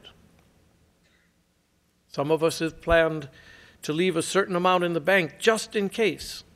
But unless that amount is huge, it won't be able to finance what we call long term care, which is very different from medical care. We'll talk about that in a minute. So, who pays for all of this? Well, you can pay out of your pocket and pay until there's nothing left, and then you start liquidating whatever you do have stocks, bonds, precious metals, your house, investments of businesses, whatever you have, to turn into cash to continue to spend. Most of us run out of money pretty quickly.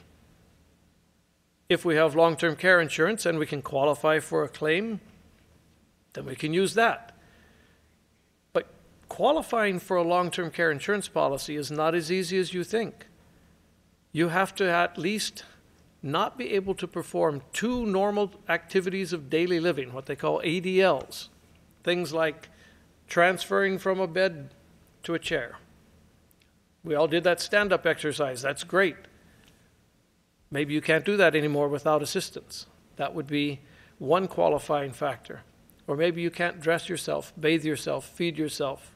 But if you're able to do most of those and you just really would like some help cleaning the house because it really is hard for you to do it, to be able to get, get around doing that, your long term care insurance isn't going to cover that. So you have to know the policy very carefully, talk with your agent, and understand what it takes to be able to have a claim pay. So, what do we do when we run out of money and we don't have long term care? What's left?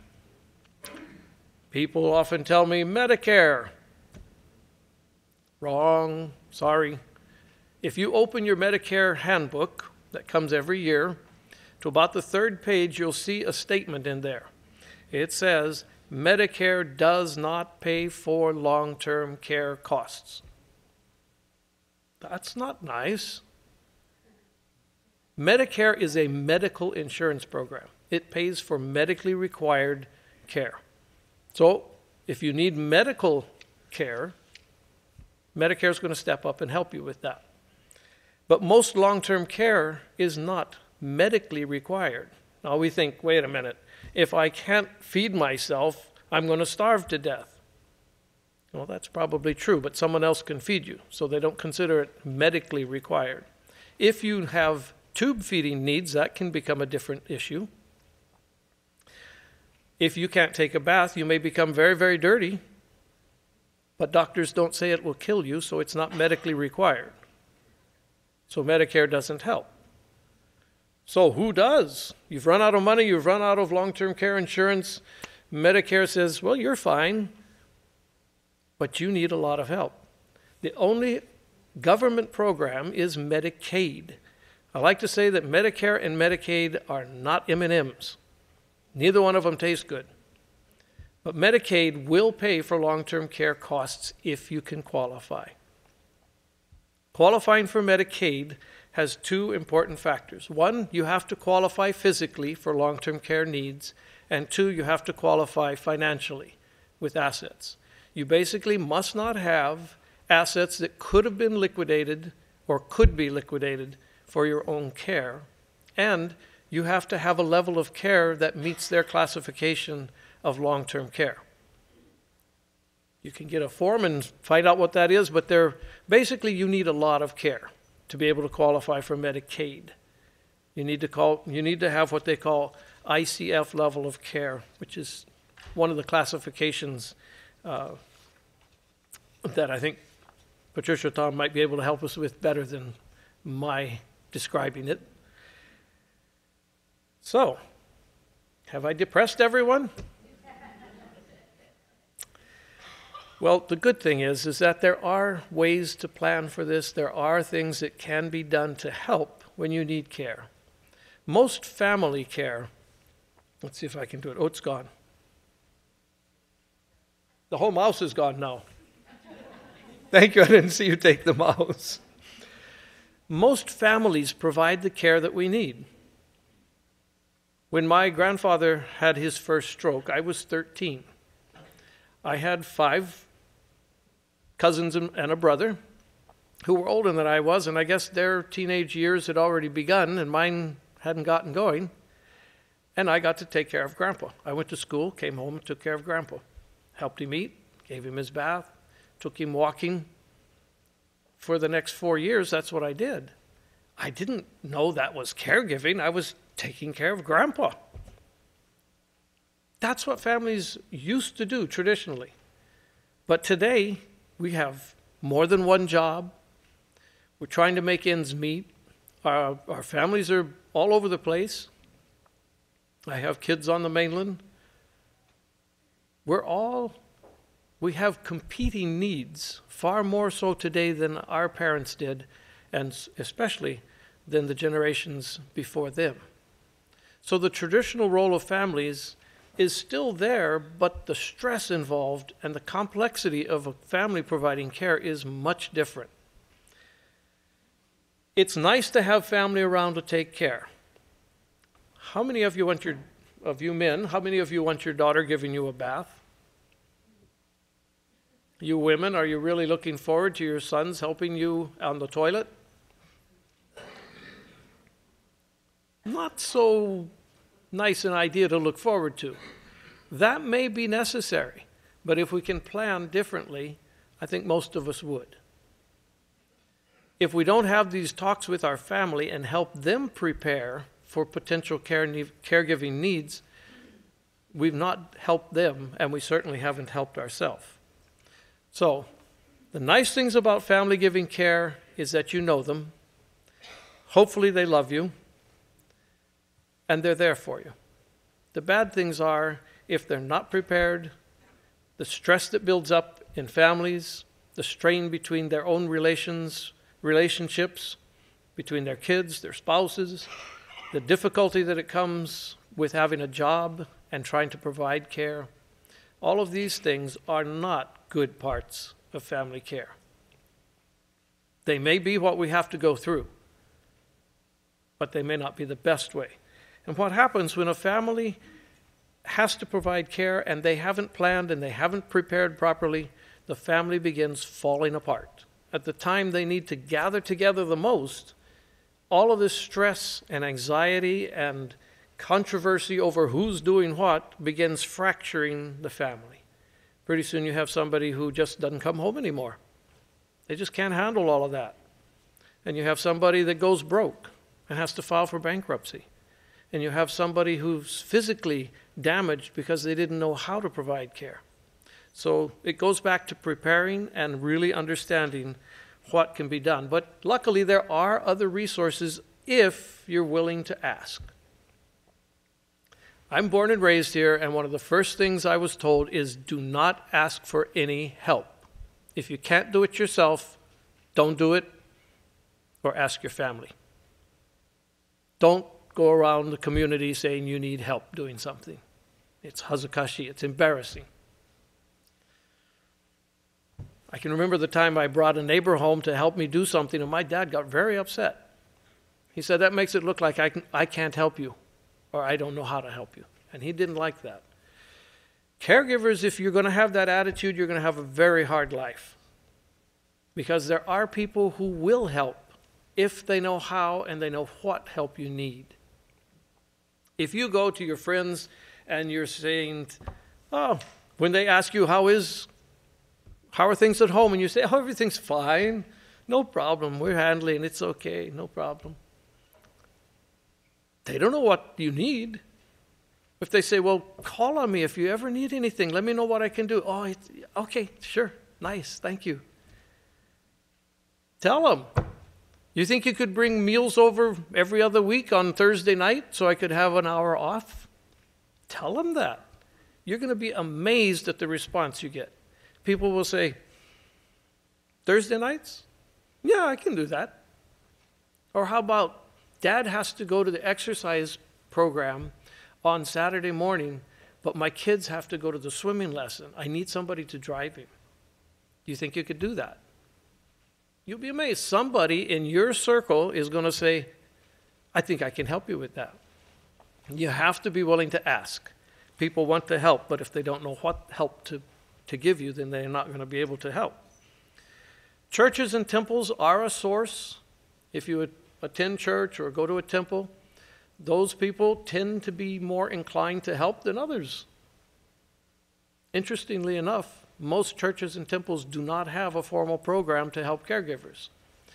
The Caregiver Foundation actually has a program that we share with religious organizations to help them develop a program in their congregations and in their, their groups to reach out into the community and help people with their care needs. Community organizations are there.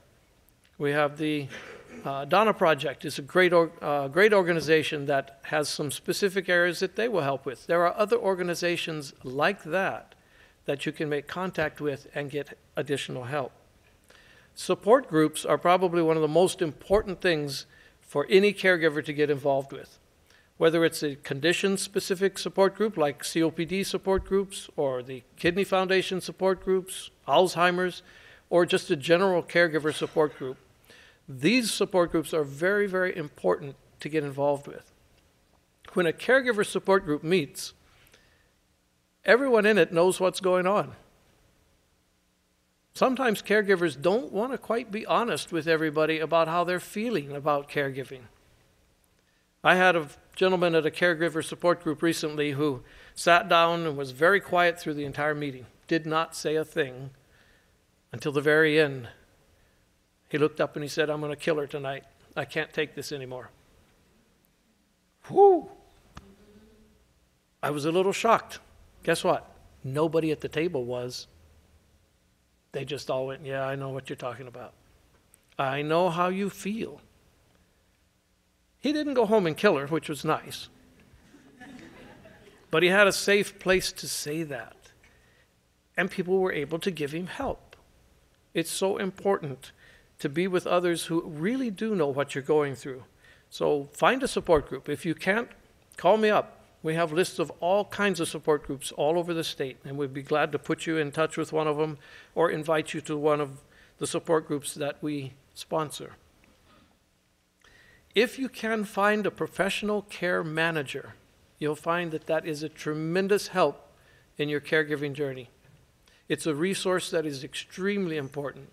We provide care coordination for a lot of people in, on all the different islands.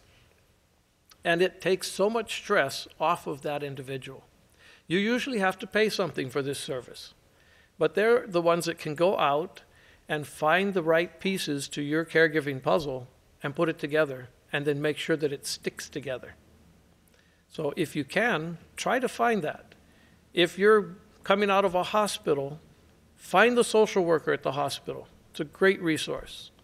They'll be able to plug you in with different uh, providers and different resources that will help you. I've been a caregiver for a long, long time now. I haven't ever regretted it. I've caregiven for many different people with different needs. Often we hear caregiving referred to as a total negative. It's really not. If you prepare, if you make use of resources, if you get the financial side of it figured out, it can actually be a time of bonding. It can be a time that brings a family closer together instead of falling apart.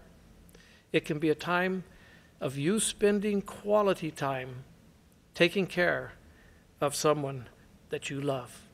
Thanks very much.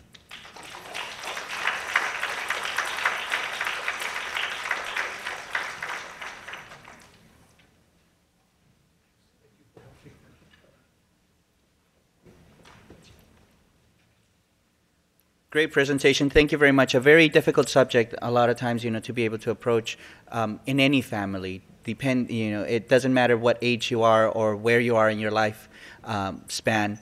I think that that's a very important, but a lot of times very difficult. And um, I did take a chance, get a chance to view the website, your website last night as I was um, researching about all of our different speakers, there's a lot of great resources on his website, uh, on the Caregiver Foundation website, um, a lot of articles, a lot of links to a lot of different places. And I think the idea is that uh, regardless of what where you are in your in your progression as a human being um, this is important stuff for all of us because whether we are at that age or somebody else in our life may be at that age. And we never know when that might happen. And so, very important information, very good topic to be able to bring up to all of us. All right, we're nearing the end of our program, and we have finally, last but not least, um, a great speaker who has a, a, great deal of experience in home health care. Um, we have uh, Patricia Tom, who's a retired home health nurse. Um, with a bachelor's degree in science and nursing and is a, a registered nurse. She's going to talk to us about getting medical help in your home. Let's please give a, a warm welcome to uh, Patricia Tom.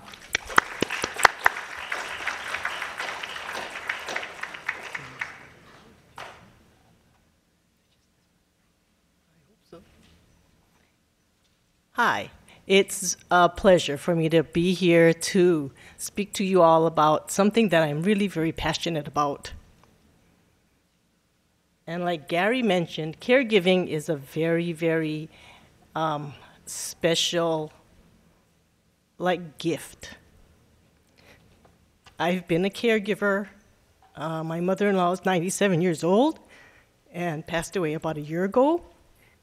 And that was about oh, six months after I retired. I am I have been a home health nurse with Castle Home Care for 20 years prior to my retirement. And I've been a nurse for over 40 years. And home health is something that is um, very near and dear because it's people like you, patients who have COPD, that we've cared for a lot. And I was um, a manager at, a, at the home health agency for maybe 15 of the 20 years that I worked there. And um, I've been blessed by many people, the patients as well as the caregivers. So, what I want to present to you today is what options you have out there in the community that can help you get through this. The Caregiver Foundation sounds excellent, something that probably we could have used 20 years ago and hopefully are making use of now. So, you've got in your handouts the, the slides, okay? So, Medicare, so back to what Gary was talking about Medicare versus Medicaid. Medicare is what you have as most of you over 65 has have as insurance. So you may have straight fee for service Medicare, or you may have your Akamai Advantage or some of those other supplementals. Now, Medicare Home Health is skilled intermittent nursing, physical therapy, occupational therapy, speech therapy, social workers, and a home health aide. Intermittent means that a nurse will come, a nurse or therapist will come and give you an evaluation. They are required to have a physician's order, and also um, it has to be skilled care, medically necessary, and the patient needs to be homebound and have an able, willing caregiver. So, if you are discharged from a hospital, or if you're at home and you have an exacerbation of your, your COPD or any other disease, you can have your physician write an order for home health. There are several home health agencies on the island and on the neighbor islands that are medically certi- are Medicare certified. You get you qualify for it as long as you have a medical necessity. So if you are at home and you don't want to be the revolving door in the hospital. So you don't want to keep going back to the hospital every month. You get an exacerbation of your COPD and you just tell your doctor, I'm really having a problem here and but I don't want to go to the hospital. The doctor says, "Okay, I'm going to put you on this medication, blah blah blah." However, you don't get better, but you still don't want to go to the hospital and he doesn't think you need to be in the hospital, he can write an order for home health he can call a home health agency and you can get a nurse to come in and do an evaluation. She can be, she or he can be the eyes or ears for the doctor. So the doctor then makes the referral. A nurse comes out, evaluates you, gets back to the doctor, and tells the doctor what your condition is in. Then, if you need, you can get a physical therapist to help you ambulate in your home, learn some breathing techniques, do your household chores if you need to, and as you progress and you get better, then you get discharged from this episode. The certification period is 60 days. You can get recertified if you are still homebound and it's medically necessary. This is not a one time deal. You can get home health again in six months if you need to, if you get another exacerbation. So, what home health do- is supposed to do is to help you not get rehospitalized. So, the goal is to prevent rehospitalization. An able, willing caregiver is like what Gary was talking about somebody who can be there for you if you need to. Doesn't have to be a family member, it can be the neighbor, your cousin, the nephew, or someone that you can rely on. But there has to be somebody willing to be instructed. And this is what the nurse does also instructs you, the caregiver, on how to provide the care, how to get the patient out of the bed, how to feed them, how to set up the room, how to set up the bathroom. The therapist can come in and also help with um, durable medical equipment, where to put the grab bars, how to get the wheelchair in and out of the house, how to get the showers, how to get you in and out of the shower. That's where also the social, the home health aide comes into play. The home health aide will come and help you with the bath maybe two or three times a week, depending on the need. So there are options out there. And yes, Medicare does not pay for hired help. So the nurse, the therapist, and the aides are not going to stay there, you know, three or four hours a day.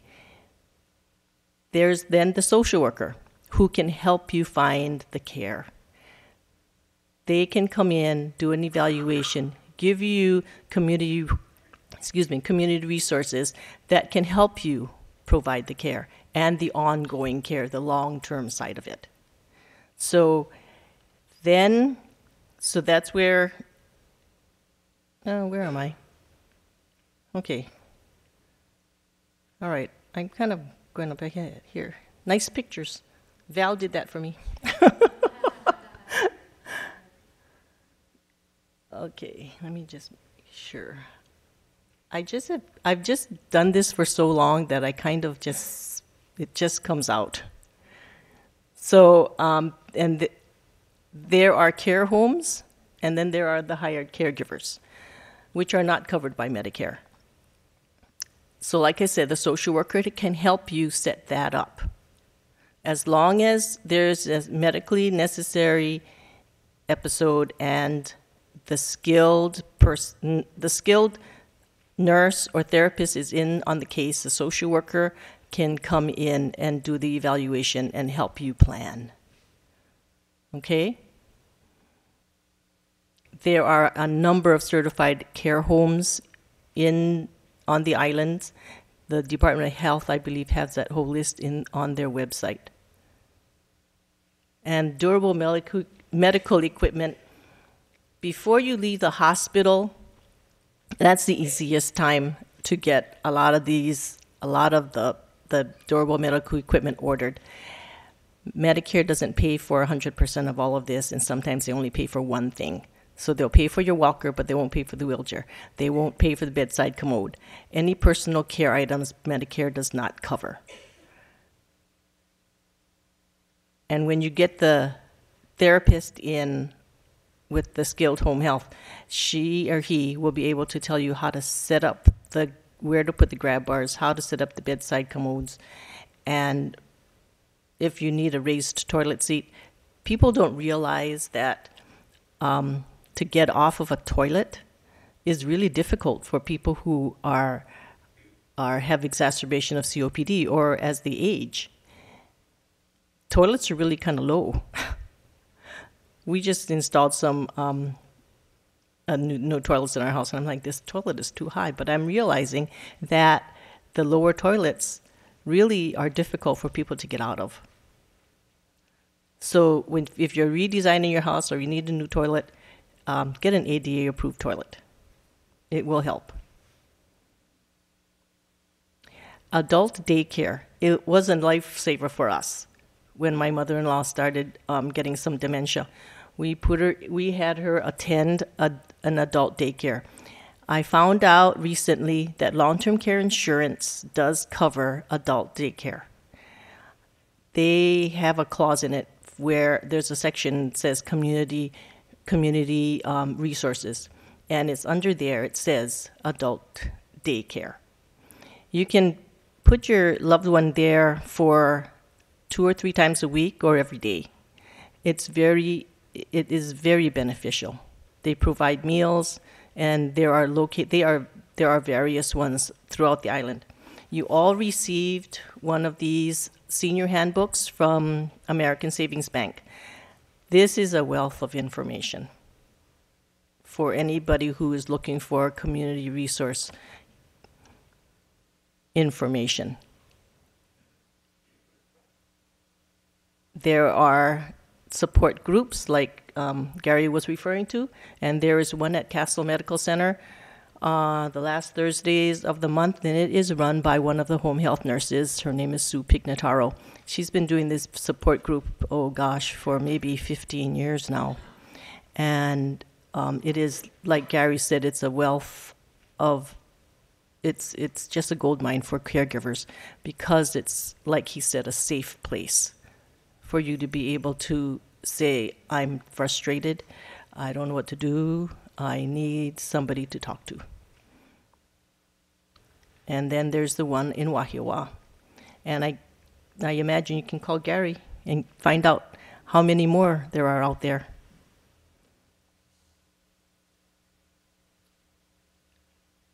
So we talked about that. All right. I could go on forever. However, I think I don't have forever. Thank you all very much, and we'll be on the panel if you have any questions.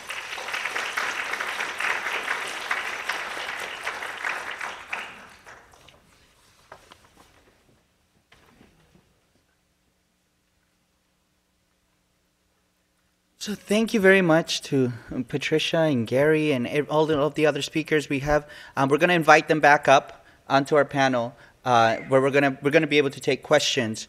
Um, and then what I'll do, Valerie, maybe is I can take one of the microphones and walk around so that. Oh, okay, great. Oh, that's great. Oh, okay. Um, so we'll go ahead and invite our speakers back up. Uh, and as they're doing that, you know, make sure that you have this is in your packet. This is the evaluation uh, for the COPD day for today. This is the lifeblood of programs like this. The way that you can get funding, the way you can make it free, the way that you can get um, donations for uh, the lunches that you're going to receive uh, is by providing evaluation data. So if you can make sure that you complete this, you will also need this in order to be able to get your lunch. so this is your meal ticket. Uh, and make sure that you fill out both the front and the back. Um, there will be people coming around to collect them and also to hand the lunches. So make sure that you have this completed at the um, by the end of the by the by the time that people are coming to collect it. Do we have everybody on the? And then I believe that there there's some students that are going to take these microphones. Is that?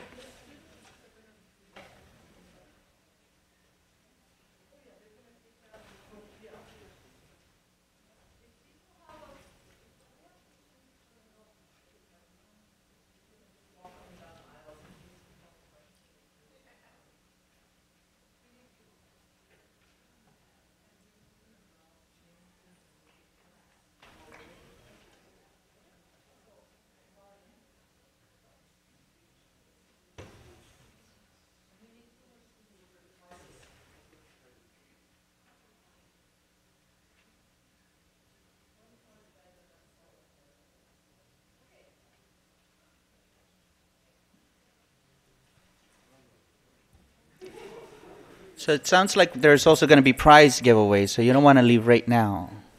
Wait until after the prizes.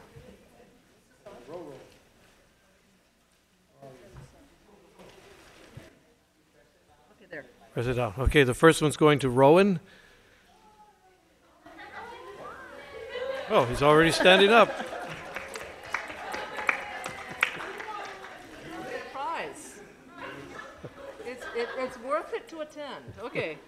Take another, another prize and then we'll, we'll answer questions if anyone has a question. Oh, there's a, another prize entry form. Can someone go get another prize entry form? Who wants to enter the prize? Are there any more entry forms? Throw this in the bag. Irene Lenchanko. Okay, prize for Where's Irene? She's back there.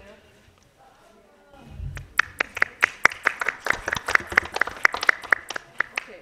So does anyone have any questions for the panel? And before we um, forget, I wanted to mention if you think you could benefit from physical therapy, like from the physical therapist at Central Oahu Physical Therapy or any other physical therapy, you can ask your physician.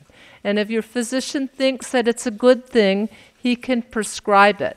And it will be covered to some degree by your medical plan if the medical plan and your doctor think it's a good thing. So I know that I have had it. Um, when I went to Denver to National Jewish, the doctor said, You know, I think it would be good for you to have an assessment to find out what you can do, what you can't do, and whether they can help you develop an exercise plan. Because I was afraid of injuring myself because I was shocked to find out I was even had COPD. I was like, What do you mean I have COPD? I, I've never.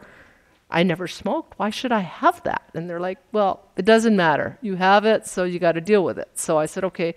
So the doctor did send me to a physical therapist, and we worked together, and they taught me about the Borg scale, which was like the exercise scale that they have on the handout. And so they, they taught me to be better at knowing when I am at, you know, a level one versus a level 10 or somewhere in between so that you can learn to pace yourself safely. And they also taught me how to use the oximeter, where you you put it on your finger and you can make sure you stay saturated. And if you don't, then you can learn to use oxygen while you exercise so you can exercise safely. So all of those things are things that you can get if you ask your physician. You've got to give him feedback, right, Dr. Sato? We appreciate it. Yeah, we appreciate your feedback so that we can, you know, help manage you, manage and, you know, um, devise the best plan um, as possible. Make sure that you're taking your medications appropriately, uh, correctly, and that if we need um, some adjusting, that could even work, you know, work even better. Uh, we don't know that unless you help give us that feedback, and so that's really important for us. Uh, you know, I haven't, um, but part of that is I'm not sure how to and who to refer patients to. It's easier when, you know, they're coming in through the hospital, but in an outpatient setting where we want to try to avoid and prevent that, um, you know, I'm not, even I'm not sure, you know, who and how to get patients, who qualifies for that. Um, in general, I just try to suggest different kind of exercises, even you know routine things, being around the house, doing chores, walking, um, and trying to get a sense for whether a person is able to do that, do that, is willing to do that, and just really trying to you know promote activity there. Dr. Sato, if your patient is homebound and has an able, willing caregiver, you can get physical therapy without the nurse through a home health agency. Okay, Just so tell them you need a PT eval and, and treatment. Oh, sorry. I was just telling Dr. Sato that if a patient is homebound and has uh, physical therapy needs, he can order that through a home health agency and get your get it um, that way.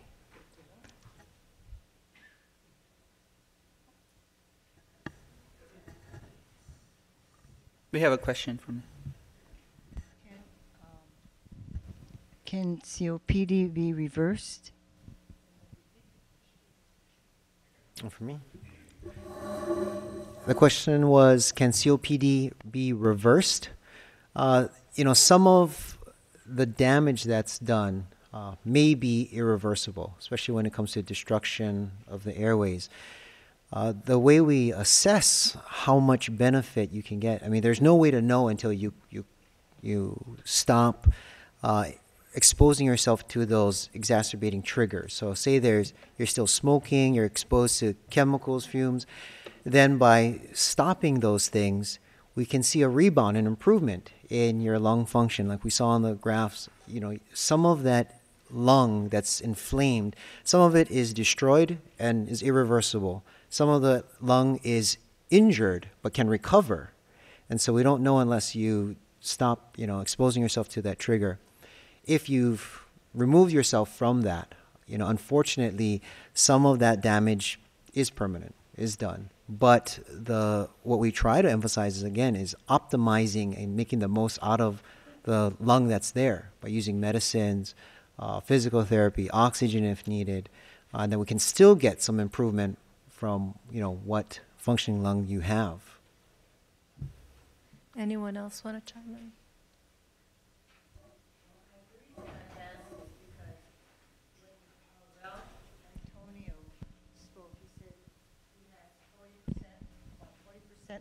Forty percent of his lungs, uh, use of forty percent. Well, how do you know you have forty percent? And from year to year, do you take a like a pulmonary function to find out if you made improvement or not made improvement? How do you know those things? So I think uh, Ralph had mentioned that you know his his capacity and that uh, that is um, based on his lung function tests, those breathing tests that we can perform, uh, spirometry and the more extensive uh, breathing tests that we can do, and that gives us an idea of what's going on in the lungs, how strong they are, and that's based. It's compared to other women or men of your age, of your height, and where you should be. And so we get an assessment of where you're at, and we can use that to monitor your progression. If it doesn't change over time, if it gets worse, if medicines help to make it better. Um, and so that's how we would monitor, and we can do that. Um, sometimes six to 12 months, we'll check that. And a lot depends on your overall health, how you're doing. If you're having worse symptoms, we might do it sooner.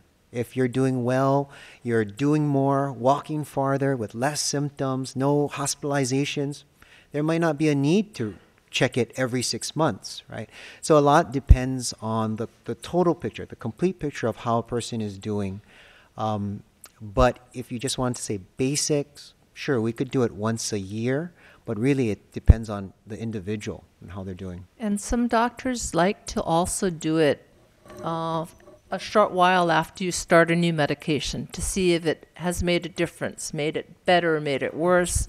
And also, a lot of times they like to wait a while after you've had an infection because your lung function will probably be bad for a while until your body fully recovers from whatever your infection was. And the other thing is to not get too hung up on numbers because I know some of us really like numbers because we think that's real versus how much we can do. And I think it's really important for us to realize, even with, like, I am sometimes at 40%, and sometimes I'm at 30%. Sometimes I'm, the highest I've ever been is 50%. But I can still do a lot of things that I've told I'm not supposed to be able to do. And a lot of it is, you know, the big muscle in our head and also exercising. So I think we have to realize the more we do, the more we can do. Yeah. I think that's a good point about the numbers that um, I'll have patients that have lower numbers that can't, you know, that can do a lot more than someone with higher numbers that can't do as much or, you know, have that variability in how symptomatic they are um, and how much they can do. Um, and so again, it's it's everything put it together. It's your symptoms, how you feel, what you can do. The breathing test is just one part of the total picture. Other questions? I believe there's a question back there. Um, hi, I have a question. It's kind of, I guess, an anatomical, maybe physiological, but maybe for the past 15 years, I've had diagnoses like allergic asthma, chronic bronchitis, and at one point I had sleep apnea. Had a problem with sleep apnea. But more, most recently, it seems like it's gotten worse for some reason. My condition has exasperated. But I wanted to ask you about something I haven't been experiencing, and I have asked the doctor about, but I, I don't know. Maybe he's never been asked before, but I've had this problem. Like I lie on my stomach, I feel like I'm suffocating, so I turn over on my back, and then I can breathe. But because it's progressively getting worse, then one night I'll lie on my back, and then I feel like I'm suffocating. So um, it doesn't work anymore. So then I have to sit up. And then that's the only way I can breathe. And sometimes I have to sleep sitting up. But then it was getting really worse because then I would, I was having trouble breathing, so I would sit up, and then that wasn't helping anymore. It's like, first I can't lie on my stomach, then I can't lie on my back, then I can't sit up. And then what am I supposed to do? Is now I gotta stand up and sleep, you know. And it, it, you know, I'm just kind of scratching my head, like, is this SIDS? You know, I mean, you know how babies can't sleep? They say don't Mhm. s- put baby on the back, on their stomach. I'm just wondering, what does that sound like to you? Well, um, it's it's a little uh, more difficult to really come up with a diagnosis. I mean, the symptoms you're describing are not typical of asthma or allergic, you know, uh, bronchitis or allergic rhinitis. I think it's going to be important to really get a more thorough, complete, you know, history evaluation uh, for me to be able to say what might be going on. Um, the things you mentioned already with asthma, and you've had this diagnosis of asthma, bronchitis, uh, sleep apnea. Those things uh, can be positionable, but more more so with sleep apnea, and more so when you're on your back. To get more short of breath on your when you're lying on your front, um, that's a little bit more atypical, and so you know I'd be concerned about something in the airway, soft tissue that's causing more obstruction, collapse. But there's a lot of different things that you know could be contributing to that. Even other you know non-lung related things, your heart, uh, if there's fluid in the lungs, or overload in the heart. I mean, so there's uh, not just asthma or, seal, or sleep apnea. Um, I'd be concerned at look, looking at everything um, and just starting from scratch in a way and seeing is there anything else that could be contributing to those symptoms because that's not uh, typical. So, what kind of doctor should I go to? Should I go to a doctor like you, or I mean, a Um, I, yeah, of cou- well, yeah, yeah, obviously, no. no. yeah. Because Yeah, I, like- I usually no. get a blank stare when I ask like a family practitioner or an internist. I, I, Yeah, I, I mean, I think to start things off, if he, if you've already had that diagnosis of asthma, bronchitis, sleep apnea, then I'd go with that. There is some suspicion of something lung related going on. Then you could ask to be referred to a, a lung specialist. And you know, if there it's primarily lung related, then hopefully that will do the trick to help you know figure things out, better treat you, better manage you, and get you feeling better. Um, but you know, right now it's I'm sure you're on a lot of the treatments for those diseases as well to try to help things. But it, if it's not getting better, or maybe it just takes optimizing, you know, adding some things in, um, or finding out if there's something else going on. okay. Yeah. Thank you. Sure. Yeah, for sure. There was a question in the back. Yeah. Hi. I was wondering if there's any suggestions or resources on like sometimes people don't realize what they're doing in terms of exacerbating triggers and uh, you know maybe a third party or someone can come over and assess the home situation, the environment and the lifestyle and kind of give you an idea of oh, you know, is the damp environment where I live affecting me? Is the cat dander an issue? Um, you know, I'm drinking soda and I'm eating processed meats with nitrates in it, et cetera, et cetera, and things that could improve your situation. Um, I think in our current environment where they're trying to cut back and cut back for reimbursements, I think we all have to be our own best investigators and try to figure out. That's why we have upstairs the journal so that you can keep track of what things seem to make symptoms worse. You know, exposure to mold, exposure to moisture, exposure to you know heat. Like um, Ralph was saying, when he's around hot things, it bothers him, and he has to you know you have to actually be a detective, and then you can you can work with an allergist, perhaps if you think allergies make things worse, or Dr. Sato can can can work with you too, because you guys deal with allergies too, right? Yes, and uh, if it, you know, a lot of it is observation, is trying to pick up, you know, those triggers that you notice cause your symptoms to get worse.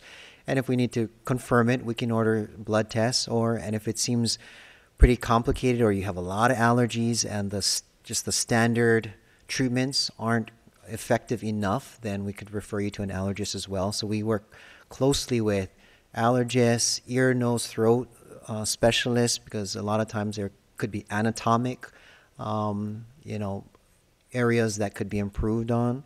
And so there's a lot of different specialists that uh, could help, and then we can help facilitate referring you to the, the those other specialists as well. So is there like a list of exacerb- common exacerbating triggers, or it's different for everybody, every COPD patient? Yeah, I mean it's yeah. There's I mean I think a lot of resources that will list the the most common triggers uh, for allergies and asthma, and there's a lot of overlap with allergies and asthma. Right, it's a hypersensitive reaction to something in the environment that causes allergies. Your body's trying to evacuate it from you breathing it in your nose, so you get running nose, congestion, sneezing, watery eyes, and when you get it down into your lungs, it causes tightening, inflammation, and it causes shortness of breath, wheezing. So there's a lot of overlap, but the the internet, I mean, if you looked for common triggers for asthma or allergies, I'm sure you could find something. And then when we evaluate patients, we'll ask about those common triggers. Um, and then you can also still do blood tests looking for high levels of antibodies in the in your body that are re- could be reacting to those triggers. And there's a common, you know, collection of blood tests that come with that, uh, and also skin testing. And so there are ways to to try to you know find out the most common things. And then sometimes we just don't know. I mean, there's a lot of things that aren't on that panel that gets tested, um, and it's still hard to control. You know, prevent you from the fog from coming in or a change in the weather. So even if you know that's a trigger, then it becomes now trying to avoid those things, but also potentially using medicines to help you, and just what what things work the best. And one of the triggers that are not commonly mentioned is gastric reflux. They find that a lot of people that have respiratory problems also have gastric reflux or GERD or acid reflux. And if you control that well, that can affect your breathing. So, have you found that with your patients, doctor? Yes, uh, I always ask about nasal allergies, acid reflux, as other medical conditions that can worsen asthma. I mean, so there's the, the well known ones, uh, lung related things, uh, but definitely optimizing your nasal allergies and acid reflux. Um, because that acid, if you can imagine, the acid comes up, up through the, from the esophagus into the back of the throat. And when you're laying flat at night, especially, or even if you have daytime symptoms, that acid, it's caustic, it burns. And if it trickles into the airway, which, which are already inflamed, that exacerbates that inflammation. And so you really, um, it's something that's easy to ask about. And even if you're not sure, it's the treatment is usually has very low side effects. So sometimes we'll treat people if there's even a question. If you have coughing at night, that taste of the back of your throat, or bad breath when you wake up, or the actual sensation of heartburn, you know, it's something that's easy to try to treat and can help your asthma significantly. Other questions? I think we had a question somewhere here in the middle. Yep, there's a question. Okay.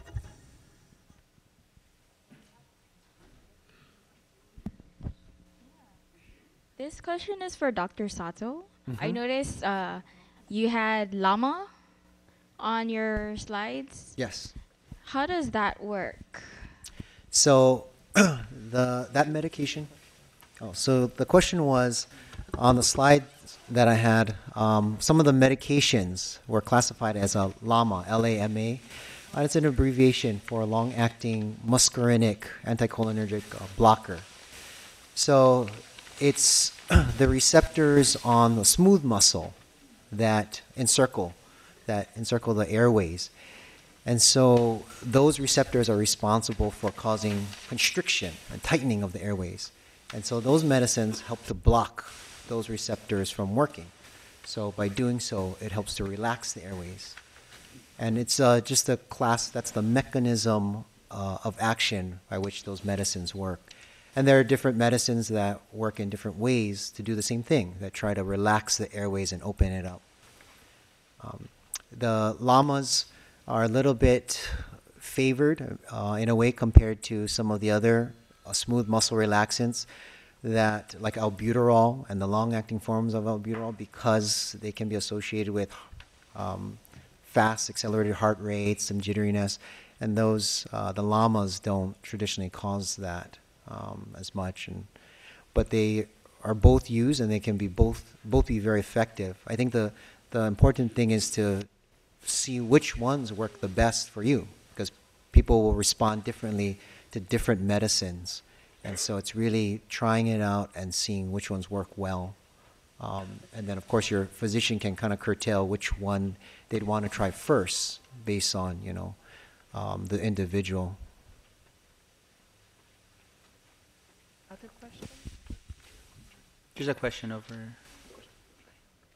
Hi, um, for Dr. Sato, because you're the sleep specialist, do you have any general um, suggestions as far as um, aiding sleeplessness for COPD patients that you found that works for most people? I'm sorry, so your, question was Was there any Um, general recommendations for patients with COPD in terms Uh, of and sleep? sleeplessness, difficulty sleeping, or aiding their sleeping?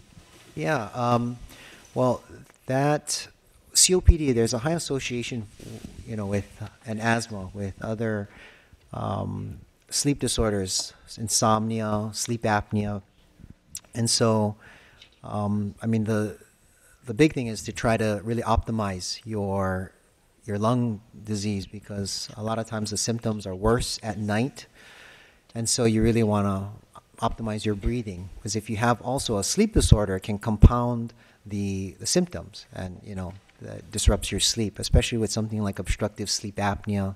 So if you have an underlying lung disease that causes tightness in the airways, less airflow, less oxygen, uh, on top of having sleep apnea, which is a disorder where you have upper airway collapse and you have less airflow. You know, that means less airflow coming into lungs that are already tight and constricted. So it adds to that, um, you know, less airflow and less oxygen a lot of times. So people can have even lower drops of oxygen. Uh, so I mean, the, the take home is, you know, really trying to optimize your lung disease and optimizing your sleep apnea also. And I think a lot of times when you treat the sleep or your lung disorder, the sleep gets better.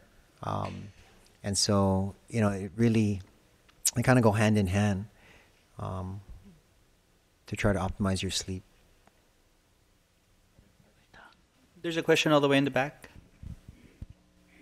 Yes. Oh, this is for Dr. Sato. Mm-hmm. Is there any kind of natural healing things that we can take to enhance all of the drugs that we're taking? Because I take so much drugs that my I started having GERD, and they're saying that it- it can't be helped because you're taking all these drugs.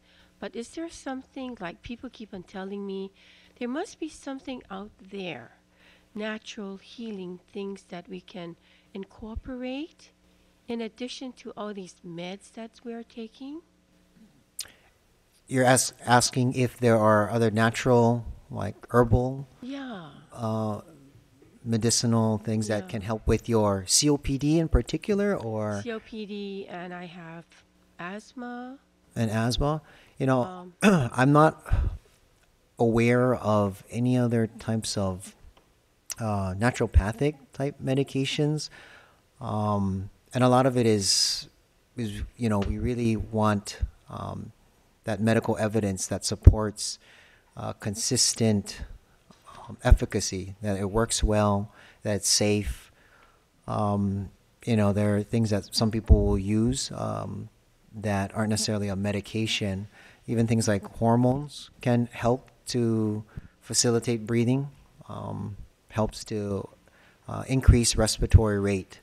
And so some people may use something like that rather than um, the medications we have. But really, I- in terms of a medicine that helps to relax the airways and reduce inflammation, um, you know, which is the core of the problem with COPD and asthma, I'm not familiar with anything that I could recommend. Uh, maybe somebody else on the panel knows. Um, the one thing that I did learn is there is a national database, and it's on your um, program under this page, and it has under the uh, Get Involved and under Resources, Alternative Medicine Database at the National Institutes of Health, um, HTTP um, colon backslash backslash nccam dot nih dot gov. That has the largest database of uh, research on complementary and alternative medicines. And if you're thinking of taking any or are taking any of those medicines, it's good to double check and double check with your pharmacist as well because some of the medicines may conflict with um, these herbal remedies, and you might not think so, but it's always good to double check because you don't want to counteract the medicines you're taking and cause more side effects for yourself. And that's why it's always good to make sure when you see your doctor to go over the supplements and everything else you're taking as well as the herbal medicine, I mean, as well as your, your prescribed medicines. And the pharmacist can go over those things with you too. There's a question over on the left side, over towards the back. With the microphone, yeah. I, I had this question. I was wondering. Now, five years ago, I had this coughing. I cough, cough, and the doctor treated me with allergy. But then he sent me to a vacation, so I went on a vacation far, far away from home, and my coughing went away. It didn't come back until last year. But this time I went to the doctor, and the doctor told me I get COPD. So I just was wondering what's the difference between the allergy and the COPD? Um, you know, a lot of times there's overlap with, again, I don't know if you had you saw that slide where COPD is really uh, encompasses a group of different lung diseases, including uh, emphysema, bronchitis, and asthma, because they all have inflammation of the airways in common. So a lot of times, you know, you can have an overlap where you have a component of asthma type symptoms where it's triggered by something in the environment, something you breathe in that triggers the symptoms, and when you remove that trigger, you get better. And a lot of times, when you kind of hear that situational, um, those flare of symptoms with change in geography or weather or something you breathe in, it's more of a allergic type component. But that can also happen with COPD. And when your doctor said COPD, I, I'm assuming that he means um, in terms of more destruction of the airways um, and maybe more irreversible damage, but I'm not sure what they mean because you can still have uh, the symptoms that you mentioned and that story with with asthma. And so, you know, when you went away, it got better. When you came back, you were doing pretty well. Maybe your body was still in a state of, you know, not being inflamed, not having those triggers, but it took some time and your cough started to come back. Um, so it's it's hard to say, you know, is it really a different diagnosis or is it, you know, just in that spectrum? And you always had the, the propensity to, to do that, to get better if you went away and it gets worse when you come back because of the triggers here. There's a question right here. What's the difference between the treatments we get at home, like with the nebulizers and stuff, than the hospital?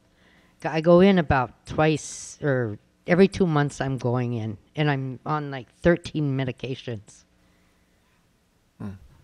Um, so the nebulizers in the hospital and the yeah, ER when I go, I go in there for treatment, even though I have mine at home and the medications. But I got to go in there, and I breathe better, s- and then they release me again, and then a couple months later I go back in again. Yeah.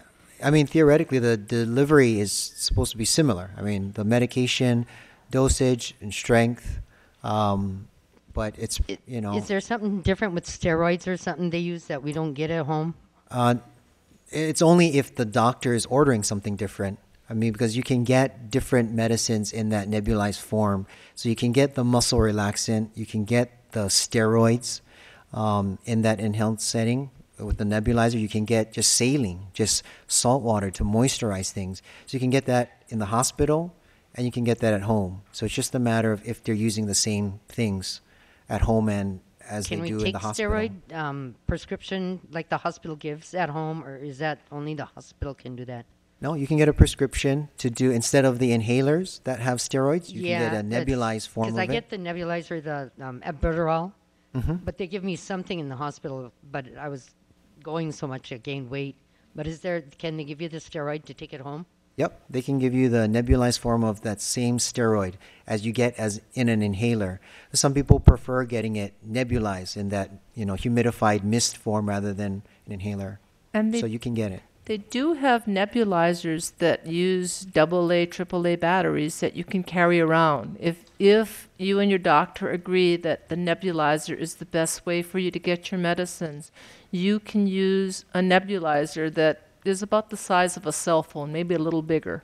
And they do sell them online. You need a prescription, but you can get them online or you can get them at a lot of pharmacies. So if you look around, you can find different ones, and some of them are, you know, they're they're much smaller than when I first started using them. That looked like a, you know, they used to be the size of a toaster and weigh about, you know, the as much as a bowling ball. But now they're they're light and portable, and like Dr. Sato says, they do have um, Pulmicort, which is an inhaled nebulized steroid. And I have used that, and when I'm having an exacerbation, I would much rather treat myself in my house if I can stay healthy than go to the hospital and possibly get sick with somebody else's germs. We have a. Who has a microphone? Okay, right there in the back. I have a two part question. Um, I just got diagnosed with COPD.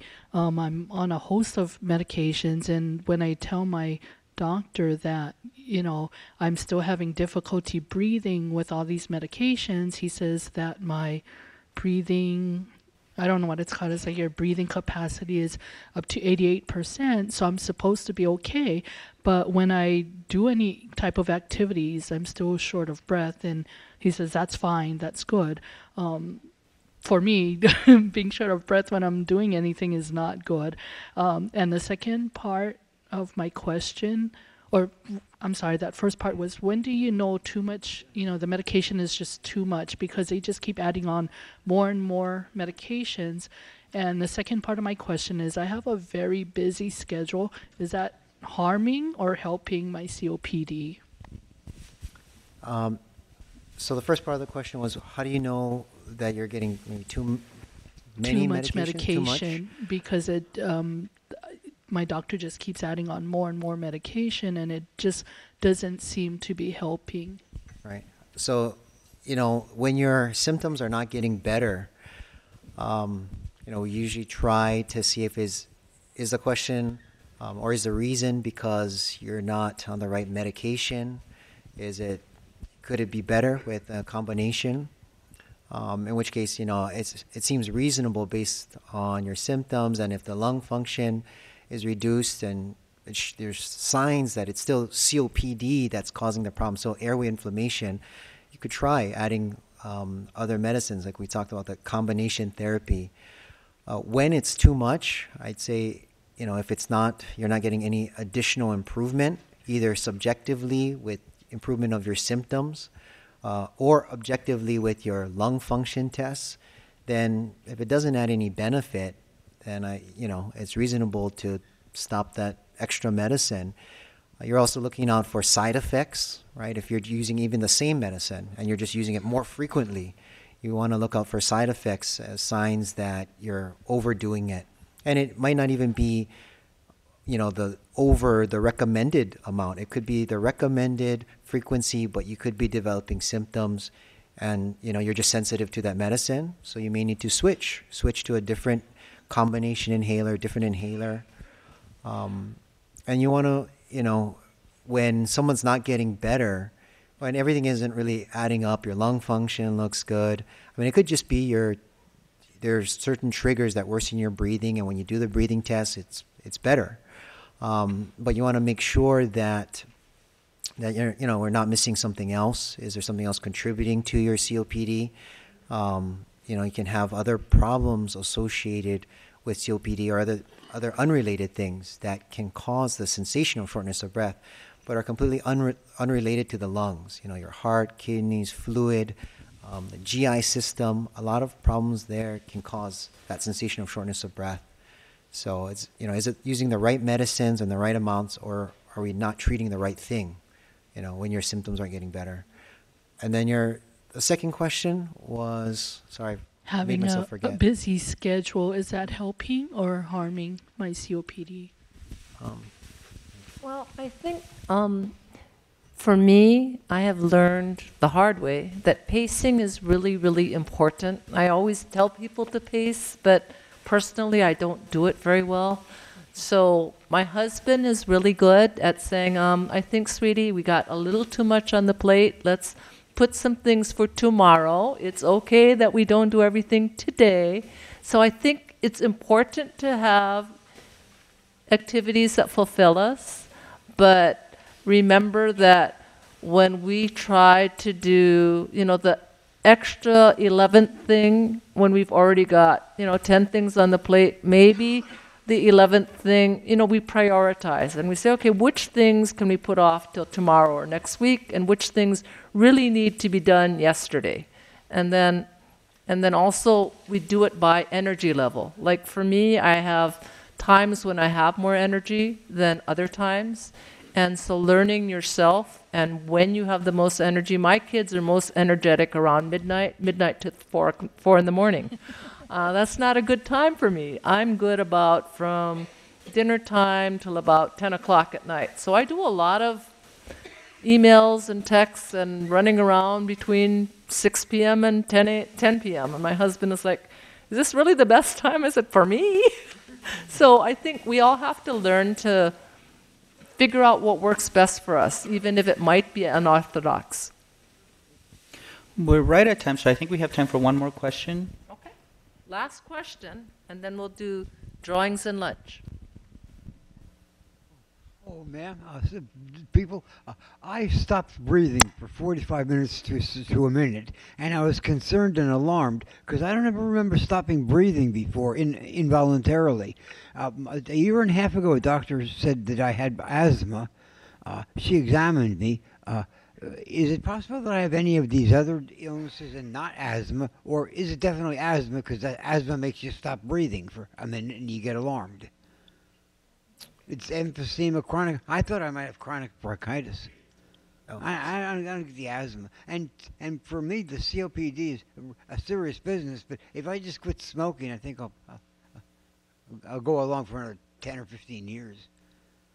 So I think the question, uh, just to uh, clarify, your question was the symptom you have where you have a sounds like you pause in your breathing for 45 seconds. Is that related to asthma, or could it be something else? I couldn't breathe for a minute. I, I just stopped breathing.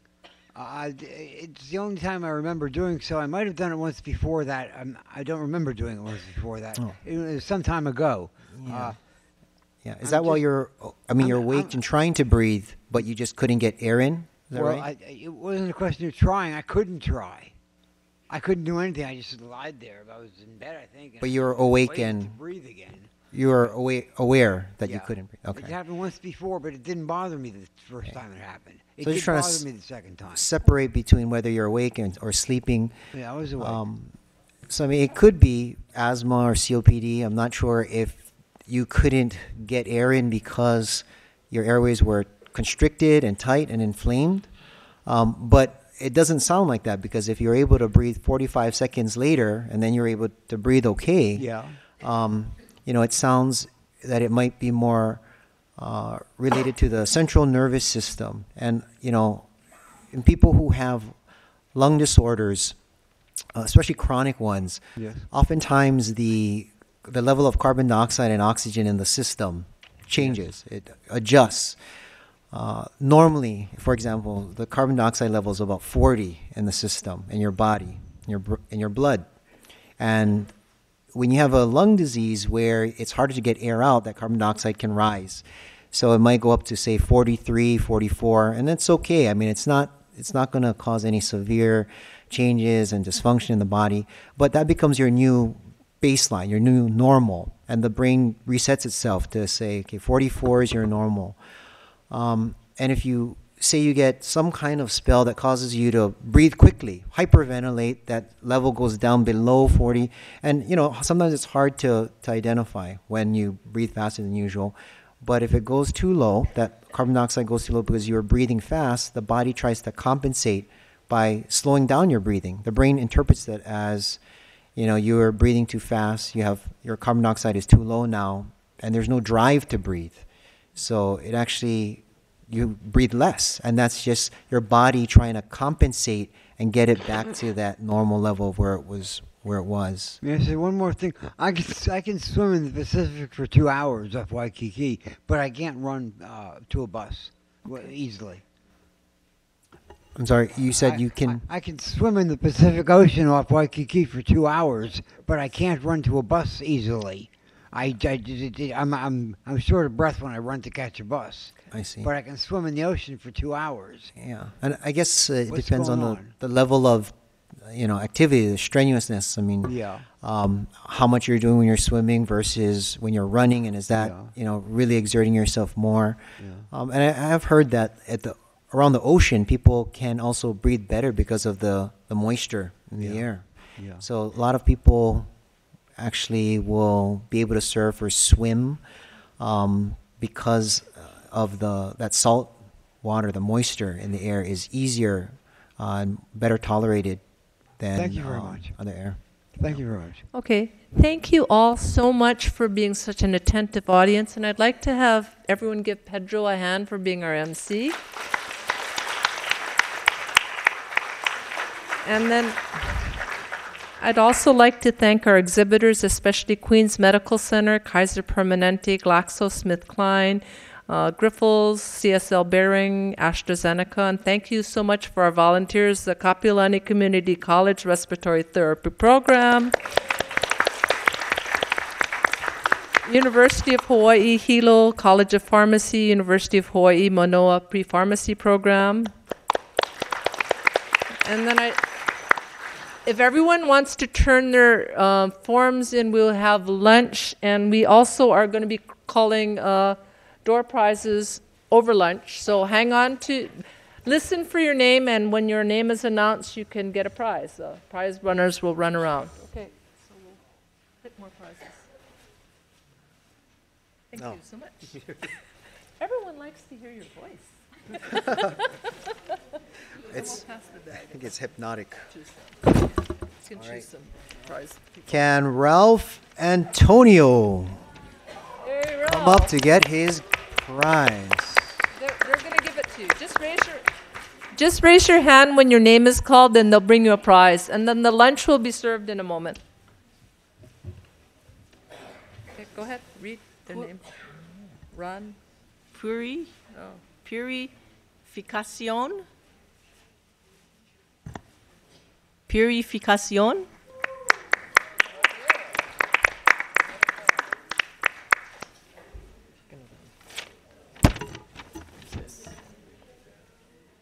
Florentina.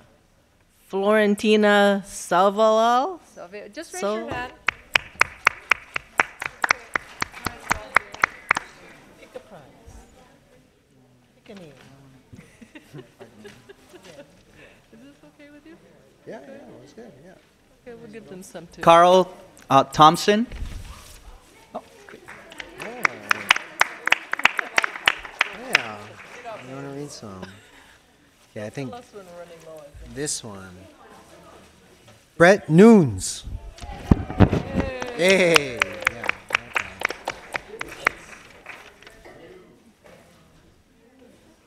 Alvin Okihiro. Hey, Alvin. Do we have it? Um, Alvin's here somewhere. That one doesn't have a name. They're not- they're- Oh, the wife is still here. I guess he's probably. Whoa. Biology break. Anna N. Oshiro. All right. Mary Lewis. Oh, right back there. Joan Thompson. Joan Thompson. Oh, the couple. They rigged it. Pat Antonio.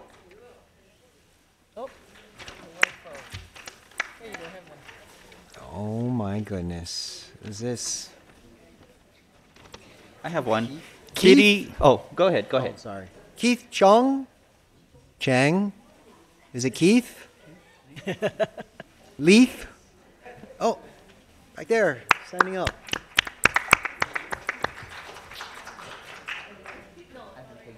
I don't think so. I- there's one more. Okay, our last winner is Kitty Souza. Oh, great.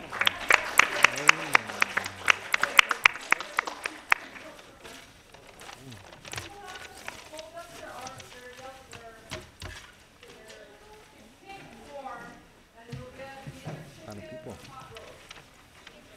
I don't know. You want a microphone? Well, we weren't sure if those were prizes or not. Yeah, sure. More prizes? Oh, but they're walking out already. Should we stop them? Oh, they're gonna get. Oh. All right. I don't know. I don't know. What are we gonna do?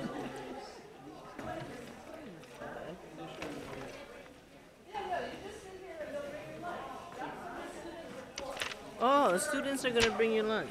So lunch will be brought in here. So if you're waiting for lunch, you don't have to go outside. The the students will come in and bring you lunch, so you can go ahead and stay seated.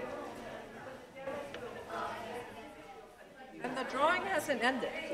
Oh, we we still have Oh, we yeah, the still have prizes. Still upstairs. Exhibits are upstairs. Auntie Vicky, you want a prize? Nah. Auntie Vicky, you want a prize? No, don't give her a prize. See, they kind of mixed them up. It's okay. It's all right. Joe Chan. Where'd they go? All the way in the back. You guys all go. The students Oh, are all going to help Chan get is the back food. there. Joe is I'll still take the here. prize. Okay. All right. All right, Pedro. Monica Hamada. Now put it on the side. Might be a student. Okay, these are, I'm going to put the ones that didn't show up. Yeah, might be students. That's why. Gerard Tyra. Who? I don't know. Put it on the side. Might be a student.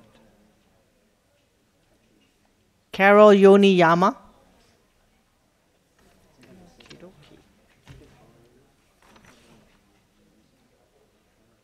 Sandra Bike or Bake. Oh well, maybe stop. We'll just Wait till just they serve come back. lunch. Yeah, just serve lunch. That's it. Here we go. How come We're just gonna serve lunch.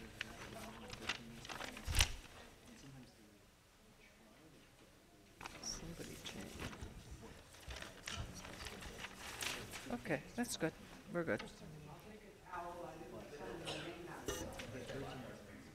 No, we, we, we were out of those. We gave those up. Okay, I think we're serving lunch. So people have to have their pink form filled out front and back, and then hold it up, and the students will give you a lunch.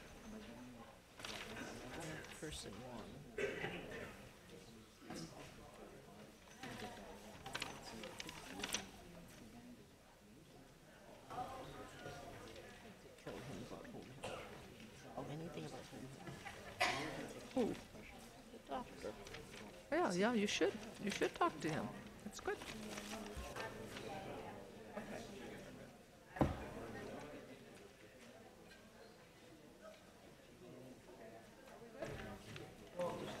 They're serving lunches. That's okay. We'll give them as surprises.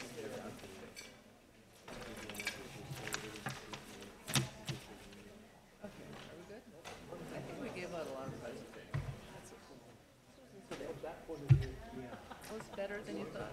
Friendlier audience.